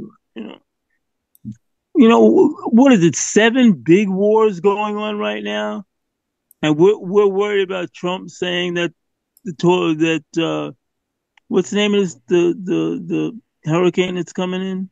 Mars. Milton, Milton. Milton. Do you think Milton Berle would be proud of that hurricane? You bet your ass he would. And it's not even wearing a dress. So the deal is, as he goes on, the deal is we have the answers to the problem. And as much as people want to say that Putin's got something on Trump, pissing over him or whatever it is, what the hell does Bibi Netanyahu have over Biden that he's getting ready to toss the election What? because What's he's in a bad spot? What do you, What, what do you does say? Bibi what does Bibi Netanyahu have over Biden that Biden won't even consider cutting uh, Well, the United I- States Palestinians some slack because they can, how can how can I vote for somebody? I heard this guy ranting this morning, and he said, "You want me to vote for someone who's responsible for half of my family getting wiped out?" And I think that's a stretch. Well, he had a conversation with Netanyahu for 30 minutes today. It's mentioned. Yeah, but look at the context of that, Steve. They're talking about Iran, Iran mostly, it says here in the article. Ah, screw that. What is the context? Uh, Gavon was supposed to come meet with Austin, and they were supposed to lay out the plan. At the last minute, Netanyahu says no. Who's I need to talk to the president first. Is he the defense minister of Israel, Gavon? Mm-hmm. Okay. Right? Well, I think he's Well- concerned about the Israelis hitting the Iranians too hard. Their oil facilities or their nuclear facilities. That's what they're worrying about. Yeah, about. but he said that out loud already, and and and Bibi Netanyahu said, "I ain't going to jail. Y'all y'all can do the nuclear thing if you want, but I'm not going to jail." Who would put him in And it jail? appears, hmm, Who would put him in jail? the Israelis. He's up for all kinds of corruption. That's Uh, why they uh, were having. That's why they were changing the court. They they have charges against him in Israel? Yeah, No, I didn't. that's why they. That's why they wanted to change the court. Mhm. And Uh, so did- before, Steve, um, and prior you know- to October 7th, the Israel, I'm sorry to interrupt, Darryl. Prior to October 7th, the main thing that was going on in Israel was that there were millions of people taken to the streets to protest Netanyahu because he wanted to change the court system so that to keep Oh, I himself- remember that. Yeah, I remember that now. Okay, sorry, Darryl. Go on. in the mean, in the meantime, they were still raping the West Bank. Hmm. Maybe that's So, why I mean- Netanyahu's doing what he's doing now. He's just going, finally getting a, a, an opportunity to attack Hamas and Hezbollah and the West Bank and everything. And he knows he's going to be in jail afterwards. So he's got no limitations on what he's willing to do. Exactly. And I think that they're really afraid that he would go nuclear if these things didn't work out well. Uh, let me Which intercede. Can I which intercede for a minute? Ken, Just- what? so, because I've I've seen this amongst mostly this group. You keep uh, defining individuals' motivations on personal benefit. He's doing it for the money. He's doing it to stay out of jail. People operate on larger dynamics than just their own personal interests. They have their family. Sometimes they're considerate of their children or their brothers and sisters or parents. So they have a family uh, things that they're concerned about, and sometimes they're actually concerned about their race or their tribe or their nationality, and I think that whatever I think group is. Netanyahu is. And, then, and look at all of the Netanyahu's that way. soldiers who go fight in the wars and get shot and killed for what? For the you know duty honor country, that kind of a thing. So people do operate beyond the thing about what am I going to get to eat tonight or how much money am I going to make. People operate for different goals, and Yeah, you know Netanyahu's- I'm just talking about sane people. Crazy people could you know just be operating for some kind of a thrill or sensation or emotion, you know, that somebody's talking to them. So you, you have that factor too that's never going to disappear in the human race. And, uh, you know,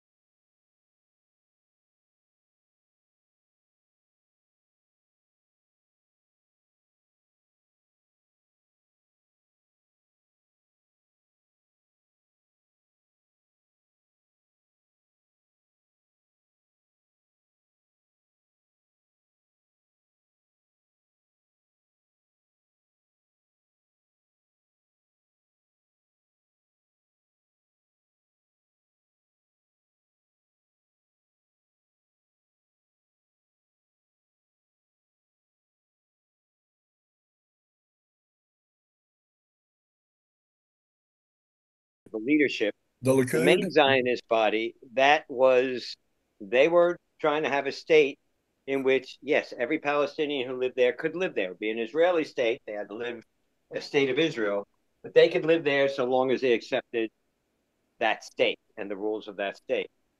There were uh, this other, the Jabotin- Jabotinsky Zionists, um, actually even to the extreme of that, that formed an not only it wasn't not only the Irgun, it really was an offshoot of the Irgun called the Stern Gang, which is a very extreme. I mean, it was the most extreme group among the uh, the Israelis before Israel became a state. They were the ones who actually did the Deir Yassin thing and wanted to drive all the Palestinians out. Now that they said, well, we're Zionists. Well, that wasn't my form of Zionism, and it wasn't the form of Zionism that the overwhelming majority of Israelis um, agree to now. My fear is that with people like Ben Gvir and the uh, Netanyahu, Netanyahu is just an opportunist, but with people like Ben Gvir that he's got in the cabinet, who was sentenced and served time in Israeli prisons for his extremist view, not extremist views and extremist actions.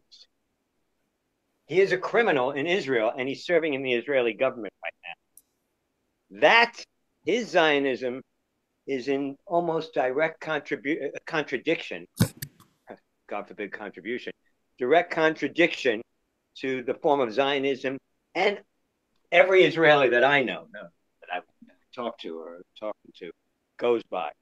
So you've got an internal battle there. So you can't just say the Zionists. The Zionists, uh, because you could be talking the Trump people or white supremacists in the United States and saying, well, that's the Americans. I mean, it was in the past, but um, and I hope to God it isn't doesn't come that way. Unfortunately, represents too large a percentage of the United States for for my taste, but uh, uh, for my liking. But the idea is, you can't say you start talking about the Zionists. You better be specific. That's why I'm always careful to say the Netanyahu government. That's why I'm always careful to say Hamas and not Gazans, because I don't think that the vast majority of Gazans support Hamas. They They, may ju- they elected them. They elected them by ninety percent. forty-three percent. They got forty-three percent. Forty-three percent? When, when election? What election was that? The only election they had in 2006. There hasn't been an election there since. No, wait, wait a minute. There was a conflict between Hamas and Fatah, Yeah. In 2006, yeah. and there was a Did- civil war between the two, and Fatah lost. Did, There well, was an opposition party at one did, point. did Fatah have the other fifty-seven percent of from the forty-three? Some maybe un- might have been undecided. Some might have supported neither of them. You know, when you have religious convictions and stuff like this, it's hard to get a political vote. You get a vote because it's your kin. Like, look at the voting in Michigan, where it's Muslim, and they vote. You know, they vote to keep uh, the the the uh, you know I can't remember now, the names are gone. The woman who's part of the squad. You know, it doesn't matter what they do. It's you know, you don't violate your religion. You vote for your your your kind, your clan. Well, Also, Ken, it's a, when you have a parliamentary system, you have to understand a parliamentary system. For Right. instance, Netanyahu has has not in recent years um, held, had the support of the majority of Israelis. Yet Uh-huh. he is prime minister because he formed a coalition of, of parties. He's always had a, I mean, in his present incarnation, it's always been a minority government. Um, and that's one of the things he's concerned about. Oh, Uh, wait. but- Yeah, but this is an interesting thing. So he's a he's a real son of a bitch and a militant and everything, right? Now he, he didn't. I mean, you could blame it. You could say, or some people have alleged that he set it up for Hamas and let them gave them you know money and everything. He knew they were going to attack. That would allow him to counterattack, but um, he didn't plan that attack. I don't think. No, So nobody's saying he did. therefore, therefore, I don't think anybody said that. No.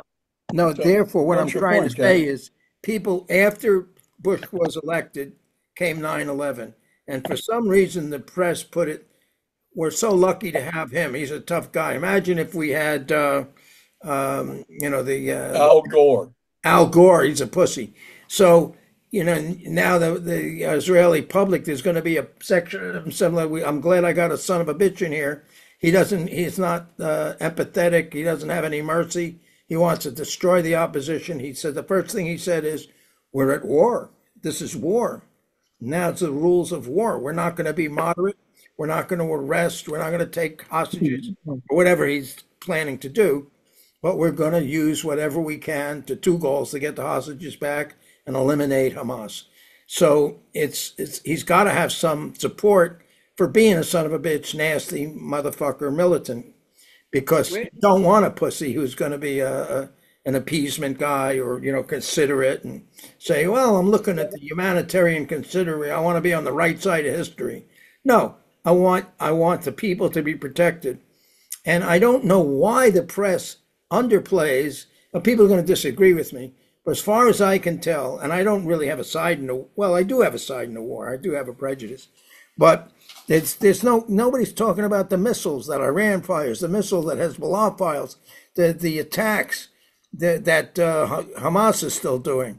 They just don't talk about it, you know, because factually, the Israeli army and their PR enabling people to act as their patrons and send them weapons and ammunition.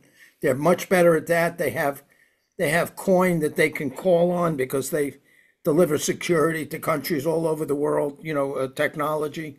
So they have allies everywhere.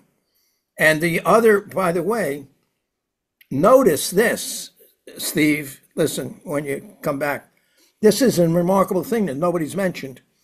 The only countries that have contributed on the attack against Israel are the uh, what's called the resistance allies, uh, the axis of resistance: Yemen, uh, Lebanon, and Iran, and Hamas. You know, uh, the East Bank, Gaza.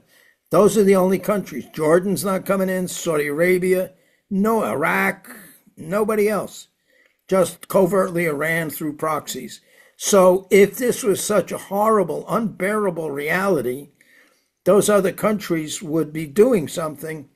Let's say maybe not sending their own troops in, but you know, sending airplanes or something. And the other Arab nations are not participating on the Arab side of this conflict. Isn't that true, Mike? Well, uh, no, they're not participating. That's true, and that, by the way, was a uh, a miscalculation on the part of uh, Hamas when they did this, and when and you know, in other words, if if Hamas is doing this to provoke a disproportionately large large Israeli reaction, um, then they miscalculated because no, Egypt isn't coming in. It doesn't mean that they're supporting Israel, but no, they're not right. supporting Hamas. And um, and even Iran is um, is not. I mean, one of the reasons they just launched those missiles, I believe, is because they were not supporting Hezbollah as much as um, Hezbollah expected them to. Um, so yeah, you do have that was a miscalculation there, and with all the uproar and the demonstrations and everything like that. No. Yeah, right. and, and and other than you and I just talking about that, I haven't heard a word about that. I haven't heard a word about the fact that all of those nations didn't do anything. You hear, you know, U.S. shouldn't be supporting Israel, but you don't hear anybody saying why isn't Egypt, Jordan, Saudi Arabia, and you know oh, other countries I've, supporting I've read the Gaza. No, I've heard about it, Ken. That's why I I know about it. Uh, well, that's what I know. What I know. Um, no, I've heard that. Yeah. No. Um, it's. Uh, so you mean those countries are deliberately avoiding supporting the axis of resistance? Well, first of all, you got to remember that the another thing that has come up in the news, but not as much, admittedly, um, is that a lot of these countries, their main concern is Iran. Um, Iran, which is not an Arab country, by the way, Well, it's right. It's a Caucasian Shiite. It's yeah, it's what used to be called in the um, the euphemism was Persian. Right. Uh, but the fact of the matter is, they're worried about Iran gaining too much power and influence in the Middle East, and also about Iran getting, if they get nuclear weapons, then they certainly will be exerting um, large amounts of power and influence in the Middle East, and they're concerned about that. So secretly, uh, according to a couple of the articles I read, secretly they're hoping that Israel um, gains the upper hand or or mitigates the uh, the threat from Iran. So you've got all these other power, I mean, power brokerings going on in in the Middle East. The um, it's more than just about you know everybody says oh it's about Israel and Hamas and etc. You have to remember also that before the Six Day War, um, so before Israel occupied the West Bank, and they only had half of Jerusalem, they didn't even have the half where the holiest uh, Jewish sites were, which is what they have now, which I don't think they're going to ever give up. So they can anybody can hang that up, but but even the rest of the West Bank, Israel just had what they had in 1948. And even then, there were organizations, the PLO, which was formed from the from um, um, Fatah and all these other organizations that were trying to that were attacking Israel, that were you know performing terrorist raids, not to the extent, same extent, but trying to attack Israel. So the there's a difference between those of us who support a two-state solution and those people who are just trying to eliminate Israel. By the way, a lot of those organizations were funded by a by the several dozen Nazis that escaped justice at Nuremberg. They got out through the rat line to Egypt, primarily Egypt and Syria, um, Oh. and they set up these these training programs for terrorists. Based it was based on the werewolves from uh, Nazi Germany. Okay. So there's a direct lineage back to the Nazis there. That When did being they do said- this, Mike? What? When did they, after World War II, when did they do this? right after World War II. There was no Arab Jewish uh, squaring off until Israel happened. There Well, was no were- hostility of the Arabs to the Jews or the Jews to the Arabs. No, the Nazis. What what happened is these Nazis. One of them was Skorzeny, who was fairly capable of all of them. He was probably the most capable militarily. Um, the rest I don't know about, but um, um, no, they escaped to these countries. Then when Israel, I mean, and they were actually promoting activities against the Jews living there before Israel became a, became a state. When it became a state, they started promoting um, organizations to. This went on between 1945, late 1945, uh, obviously effectively 1946, until uh, 1953 and 1954. Um, I think it started to peter off after that because some of these Nazis were no longer capable. Some of them. Where were they doing this? You say in Syria? What? They had in training Egypt camps in Syria, Syria? primarily. They were they were they escaped to Egypt and Syria primarily. Um, a lot of them went to South America. You know, the rat line went all over the place. Some went to Antarctica.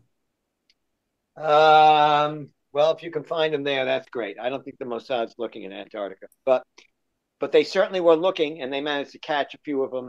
That's why in the mid '50s or something, some of them decamped for South America to join others who had already escaped to South America. I, I got to interrupt for a second. We've been talking about Jews and and is- and Zion for way too long here. I want to bring in. I want to ask Mike a, a question. It's got not Mike, Darryl. Darryl, have you experienced anything historically comparable to this conflict that the uh, that the Zionists and the Jews seem to be struggling with for the last seventy five years? Anything else? Any other cultural phenomena or military or national phenomena like that? Living in the United States of America. United States of America. You, uh, expound on that. Well, let's see. I live in a democracy, and I'm supposed to have the rights of a citizen. Yet that hasn't been my experience. Yeah. I, I was citing Governor Kemp of Georgia, who driven almost what 400,000 people off of the voting rolls, and the Republicans are getting away with this in a lot of states, and a lot of them are are are, are either black or or Hispanic. You know, people that are probably won't vote for the Republicans. Are you aware of this? Are you guys aware of that?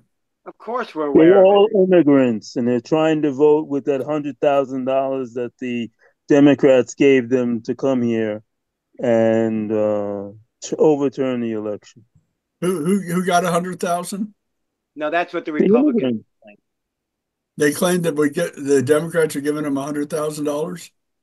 That's what uh, President DJT says.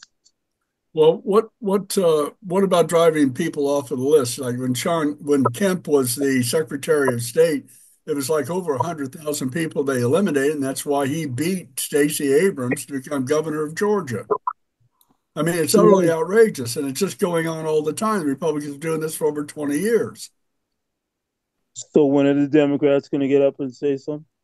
Well, I don't see why this isn't a crime. Isn't it a violation of the 14th or 15th Amendment to, to compromise people's voting rights and to do it blatantly as the state, uh, you know, as the state over them doing this?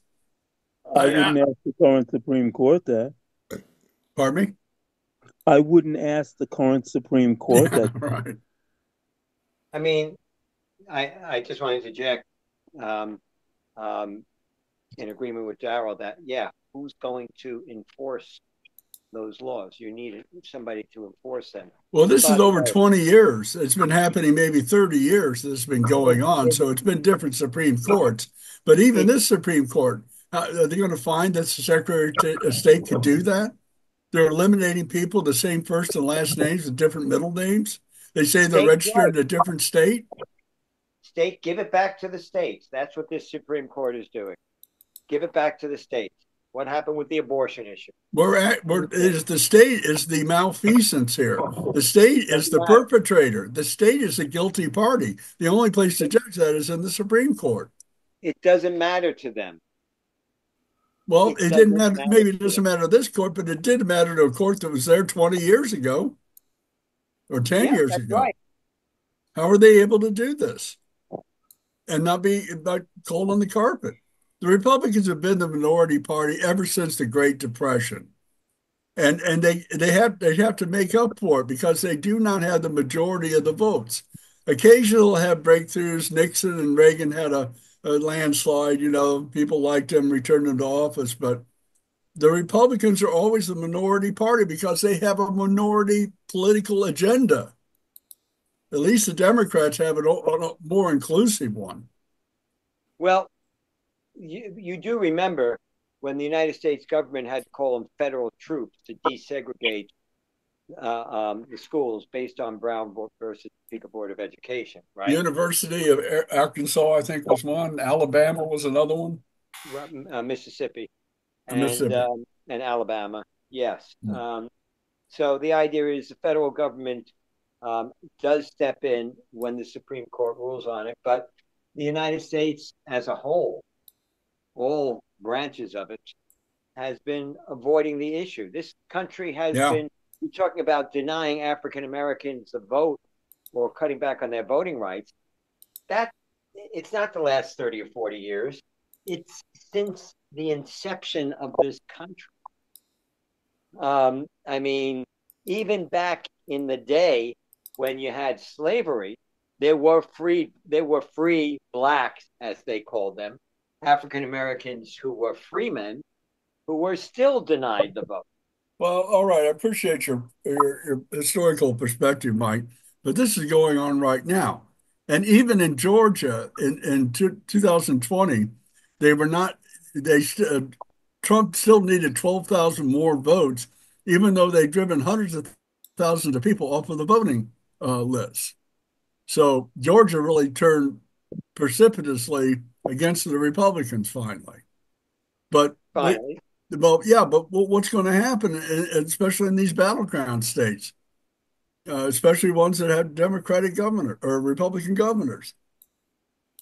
That's why I feel. That's why I I feel that racism is something that must be constantly fought because we're not we're not out of the. Uh, people thought that when Obama got elected. I mean, I spoke to people who thought that that they said, "Oh well, we're now in a post-racist society." Huh. no. So should mean, we fight racism here by putting Kemp in prison where he belongs? Good luck. Yeah. Well, I, am looking at justice. I think you all agree with me on it. But how come yeah. we were so, uh, you know, ill-equipped, uh, so poignant? Uh, we don't have the strength to do it. Well, I mean, it is an obvious crime, but the Republicans are able to do this constantly. There's flaws in our democracy. The whole electoral system was based in part on making sure on uh, maintaining the uh, uh, the maintaining slavery. Okay, so the idea that um, I mean, this is an imperfect democracy, to put it mildly. Well, I, I'm just a real quick thoughts on that. If it wasn't for maintaining slavery, there's no way South Carolina would have joined the revolution because their entire economy is plantation uh, agriculture, and they needed cheap labor to do that. And there's a good chance that Virginia wouldn't have joined either. So, in order yeah. to have those colonies join, they had to let them keep slavery. Yep. And the question is, was it worth it? Well, it would have been a whole different world today. We're still a British colony. Yeah, well, Canada is uh, still a, not a British colony, but it's part of the British Commonwealth. Member of the Commonwealth.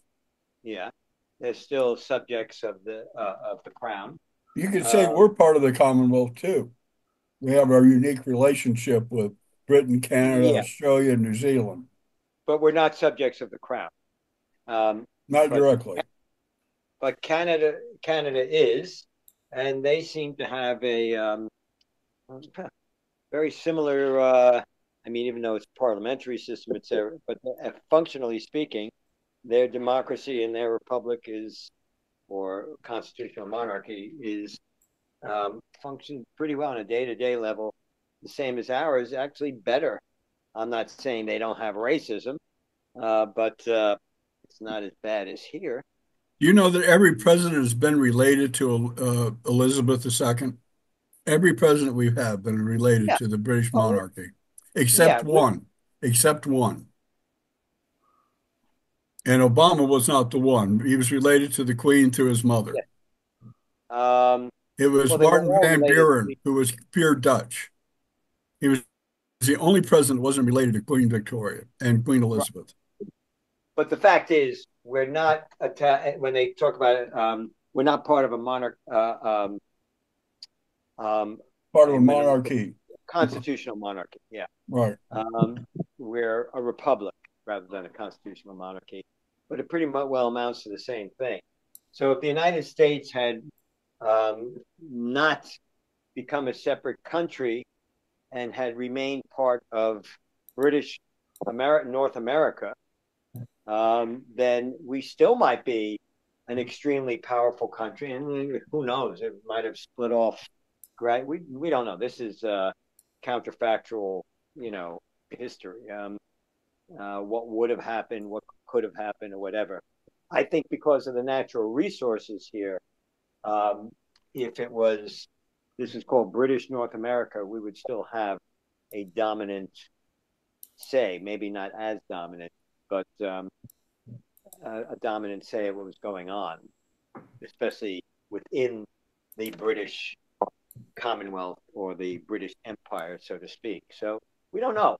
We don't know what would have happened, but the, obviously, but the uh, but the fact is uh, that was the fact that we made that compromise on slavery, claiming to be claiming to fight for freedom, individual rights, and human rights, but the country kept slavery. I don't know. That was a pretty bad deal, in my Well, opinion. They, the, the, the revolution was more important to him. Also, bear in mind that Abraham Lincoln said that he would permit slavery if if the Union could be preserved.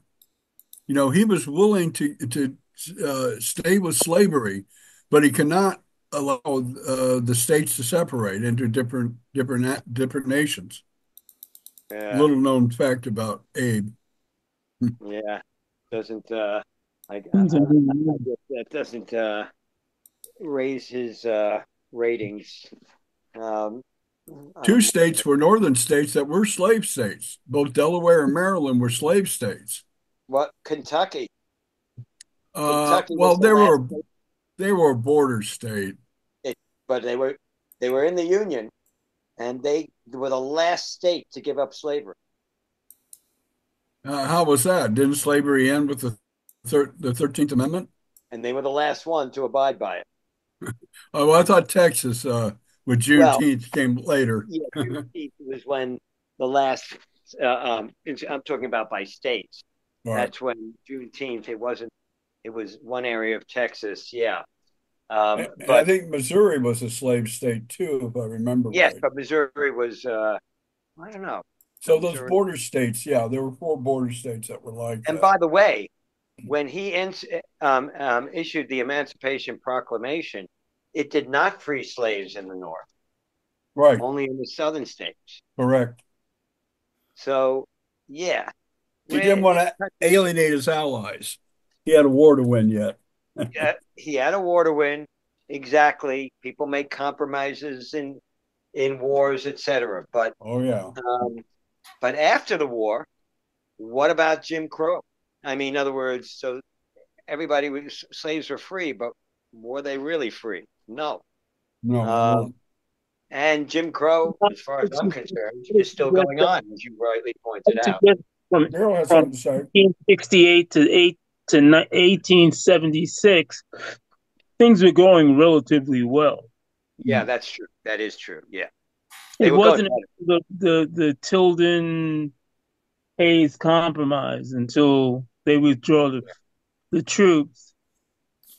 I mean, I was really surprised to find out that New York wanted to go join the Confederacy. That New New York York, what? New York City wanted to be part of the Confederacy. Oh, boy, that just oh How's that? What, what What do you mean? Who told you that? Well, I, I met a guy yesterday who said "y'all motherfucker" from New York, but he said "y'all," so I guess It's in history. It's in history. imagine that a, a New Yeah. York. Uh, Yeah, how would New York City not New York State join the the uh, Confederacy? Uh, Anything can happen. No, not everything the- can happen, Ken. That's Well, you know about- the I know true that, reality. But I you know say about the draft riots? Okay, The draft riots when That's a good African Americans were drawn, literally drawn and quartered in the streets of New York. all right, you're right about that. That was horrible. Once again, everything comes from the preconditioning of the people who commit the acts of insanity. So, what caused the draft riots? The people who were in the streets didn't see any way of getting out of fighting in the war because they didn't have $300. Yeah, So, I mean, and if you go, if you keep going back, you know, uh, why does Palestine have to pay for the sins of Nazi Germany and then get called Nazis anyway? Well, actually, that what what I was referring to before was certain Palestinian movements, certain Yeah. movements in the Palestinian communities. This doesn't mean that the. That's why I was I was talking about the fact that Hamas won their only election, the only election they had, with forty three percent of the vote. What about that other fifty seven percent? They did not wholly support Hamas, but they've been living under Hamas since that time. And are they to blame? No, I mean, you know, they didn't But ask. I'm more concerned about when you when you calculate how much food an individual uh, will be sustained on, and and how and how you control the commerce of an area, and then blame them for being bitter. No, you know, to be quite honest with you, it's the power structure. Uh, again, it always comes down to the the old thing, which is that the people who are who are caught in the middle. So you have um, you had groups that were trying to um, in, in the 50s, in the late 40s, 50s, and early 60s, up to the Six Day War, you had groups that were trying to eliminate Israel as, as it existed at that time. And then, but they didn't, did they make up the majority of the Arab world or the Palestinian people? Obviously not. Otherwise, there would have been millions of them when there were only thousands. So you have you have smaller groups, and now you have the Netanyahu government, which is a minority government. I, forgetting about, if you can, forgetting about the war for a second, but the Netanyahu government is setting the policy for a population of which they only represent the minority.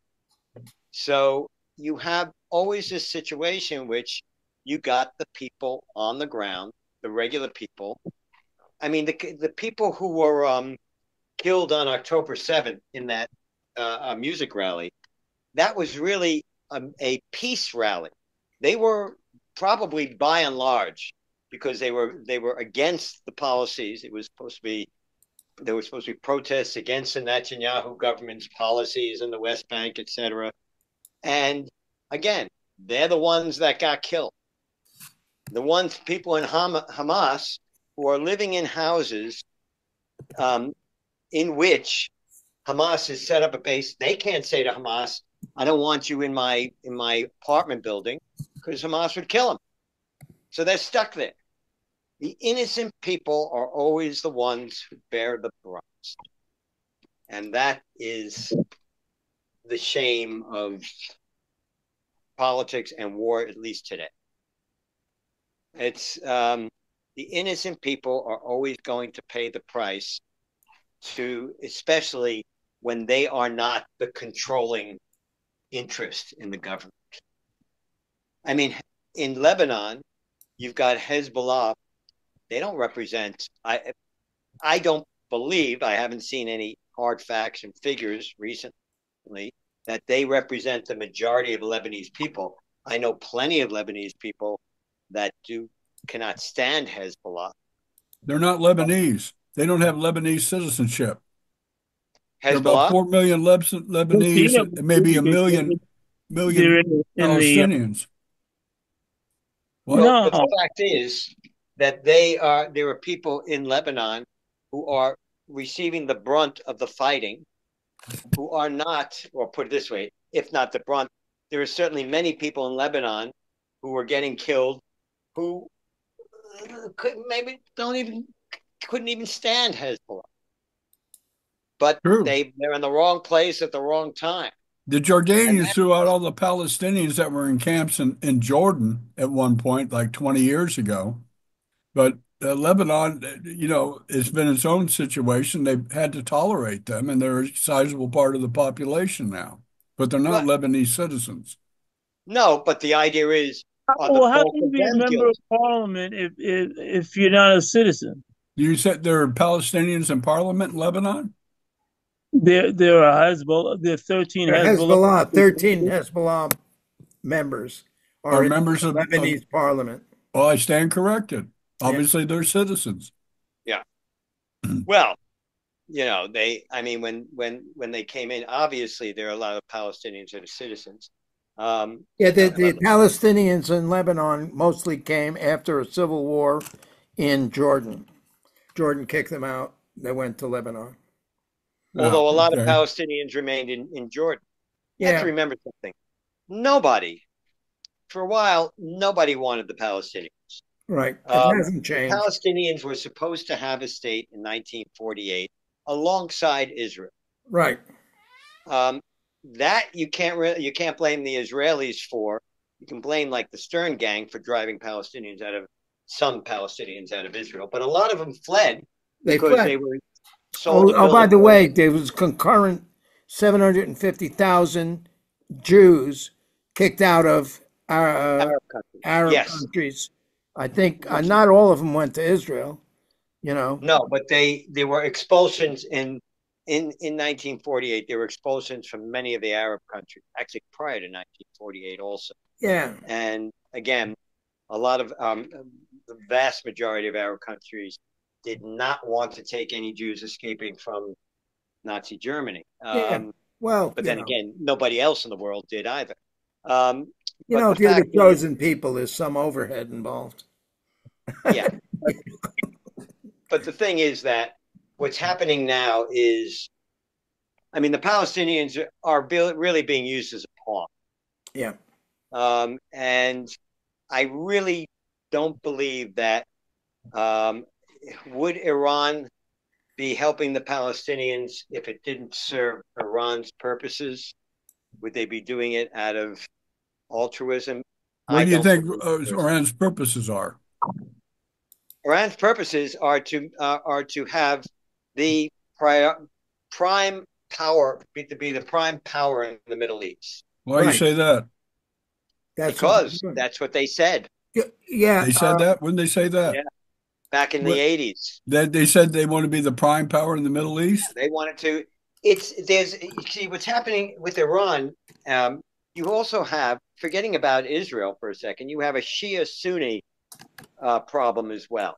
Right. So who's going to be controlling the, shall we say, the even even allowing Israel to exist and in whatever borders it wants, the rest of the Middle East, who is going to be control? Who's going to control Right. Islamic holy sites? Steve, right now- Steve, don't you remember the war between Iraq and Iran? When, Right. When Kissinger said, quiet, leave them alone, let them kill each other. And they did. That They killed they about did. 800,000. He said, 800,000 I, people this is died. like a birthday present. Yeah, That's what well, to. Kissinger was not Yeah, to the people in Iran and Iraq. the- And the Iranians were desperate to get ammunition and spare parts from us because their entire military was American. Right. And they were totally alienated from the Americans, and now they had to fight the Arabs. It was probably a good time for the Iraqis to attack them, because considering they were up against the wall in those respects.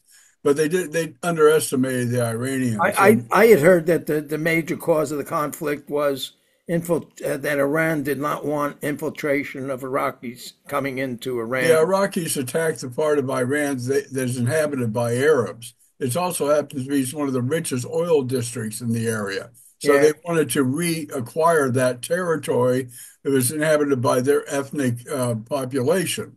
But the Iranians stopped them from doing that. And after 800,000 men died, the border ended up in exactly the same place. Yeah, yeah. And also, you have to remember that we, in other words, even if it looked like one side or the other was winning, we would, and and many countries in the West would tip the balance back. In other words, we want we the wanted that. we want the conflict. to Yeah. continue. We want the contr uh, the contrary. You want them busy fighting each other or, or trying to compete. Defense contractors do because they've got lots of weapons to sell. And the Americans give foreign aid to these countries, and that foreign aid is turned around and goes to our defense contractors to give them weapons. Right. That's the real perversion of this. And we got a $35 trillion national debt that threatens the currency itself. Right.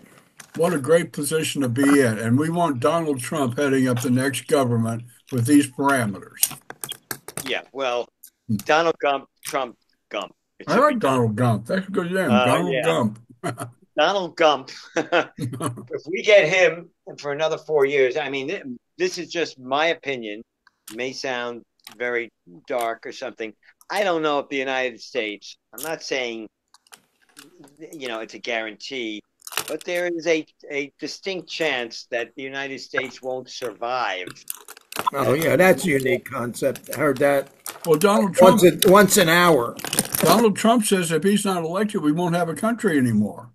Yeah. He says that all the time. I don't know what we're going to have when we don't have a country, but Donald Trump says it's going to be gone. Mhm. Just just remember about Donald Trump. when Donald Trump says somebody else is going to do something, it means he's going to do it. so, if and when whenever Donald Trump says if she gets elected, we won't have a country, I know that's what's going to happen if Donald gets elected. So, but but whatever. Well, Wes, you know, we, we, we should take advantage of Steve. I, I hope you don't mind my uh, asking you this, but oh, I think it's getting late enough to end this, right? So, uh, is there anything in the charts that predicts who's going to win the election? Oh, we keep talking about it. Um, actually, what shows up in the astrological charts is is, is uh, turmoil, and we're getting a lot of that. It's unsettled. There there are opposing forces, and uh, I was just there last night at Carol Ryder's, and we weren't looking at the election though, or we, we were looking at it most. But yeah, what we see is turmoil and and and trouble, and and after the election too. So whoever, if, if Trump loses this one, then he, he's going to be up to new antics, but it's going to be to the same end to try and weasel his way into power. But hopefully, if he does lose, we can be done with the Donald Trump era once and for all. Uh, well, we'll be done with the Donald Trump as president era. Yeah, Maggots will still be out there. yeah, maggots are everywhere, unfortunately. I think JD takes over. Well, we'll see. Oh, It Yeah. feels awful close. The only thing that's keeping the United States in power, other than the military, is the reserve currency. And so, who's preparing for? Stopping that, right? The BRICS Yeah, nations. I mean, because that- exactly. Here's that that's what Trump wants to do: give it away. Well, I think the BRICS countries, especially if they're expanding now, they want to come up with an alternative reserve currency, and that's going to further undermine the dollar. The dollar is under severe threat. Uh, I, I don't know what to say about it. I've been a tax accountant for 40 years. I, I know that rich people are are getting away with not paying a lot of uh, tax money. And I know that the Democrats, especially if they're returned to power, they're going to ramp up the IRS and try and get people to pay taxes again and all sorts of different fronts. Things are changing in that respect. So well, I don't know what You to think expect. they're going to get that much? Do You think they're going to get that much support in the Congress and the Senate? For uh, taxation, No, I'm talking about numbers. I don't do you- see the Democrats walking away with 54 Senate seats and uh, what is it, uh, three? I think the Republicans are looking at 51 or 52 uh, Senate seats, but it'll be a majority. Uh, It looks almost certain. The only thing that could happen there is they could unseat Ted Cruz in Texas and Tim Scott in uh, in Florida. They're within range and they're pouring a lot of money in there. Ted Cruz almost lost to Beto O'Rourke uh, six years ago. So they would need to have that, and they'd have to hold on to ones like Jon Tester in Montana, and they've got this Navy SEAL running against them that all the all the right wingers love up there. So I, I think he's going to be gone, and Sherrod Brown should hold on in, in Ohio, but I think the Republicans are going to have 51, 52 seats, but we could get the House. And it's going to be depending on where people's attitudes are. Something big could happen in the next month here that could tilt the election something that looks really embarrassing to the Republicans or really embarrassing to the Democrats. So stay tuned for an October surprise. Yeah. Okay. we're already. Which well, side? we can have Which side? October, Kamala? so- Kamala? Well, I hope Kamala because I can't stand Donald Trump. Period. Oh, okay. I hope Kamala has a, a doesn't have a uh, an embarrassing moment. Right, and and she's really hitting the talk circuit. She's on a major television show every day, and Yeah. she's and she's uh, report uh, uh, com- she's coming across very well. Br- So far. brilliant woman, brilliant woman. Okay. Yeah. All right. Anybody else parting words? I gotta, you know, this is like having a bunch of kids. You gotta go. Well, I just want to say that I wish we had a bigger audience because we we we touched on a lot of interesting subjects. We okay, did, good. Okay, well, we'll have a bigger. and, and, and I apologize for any offense that I've given. Uh, I regularly do. It's Mars conjunct my ascendant. I- What can I say? All right, we'll let you go this time. Thank you. All right, gentlemen. We'll see you soon. You've been watching Going Viral on 9 October 2024. The guests tonight were Ken Aaron here in Los Angeles and uh, Steve Kaiser in Los Angeles and Darryl McPherson and Mike Jankowitz in, in uh, New York City. Jim uh, Dingeman popped in for a little bit and didn't hang out too long. I think that's it. Okay, so hope to see you next time.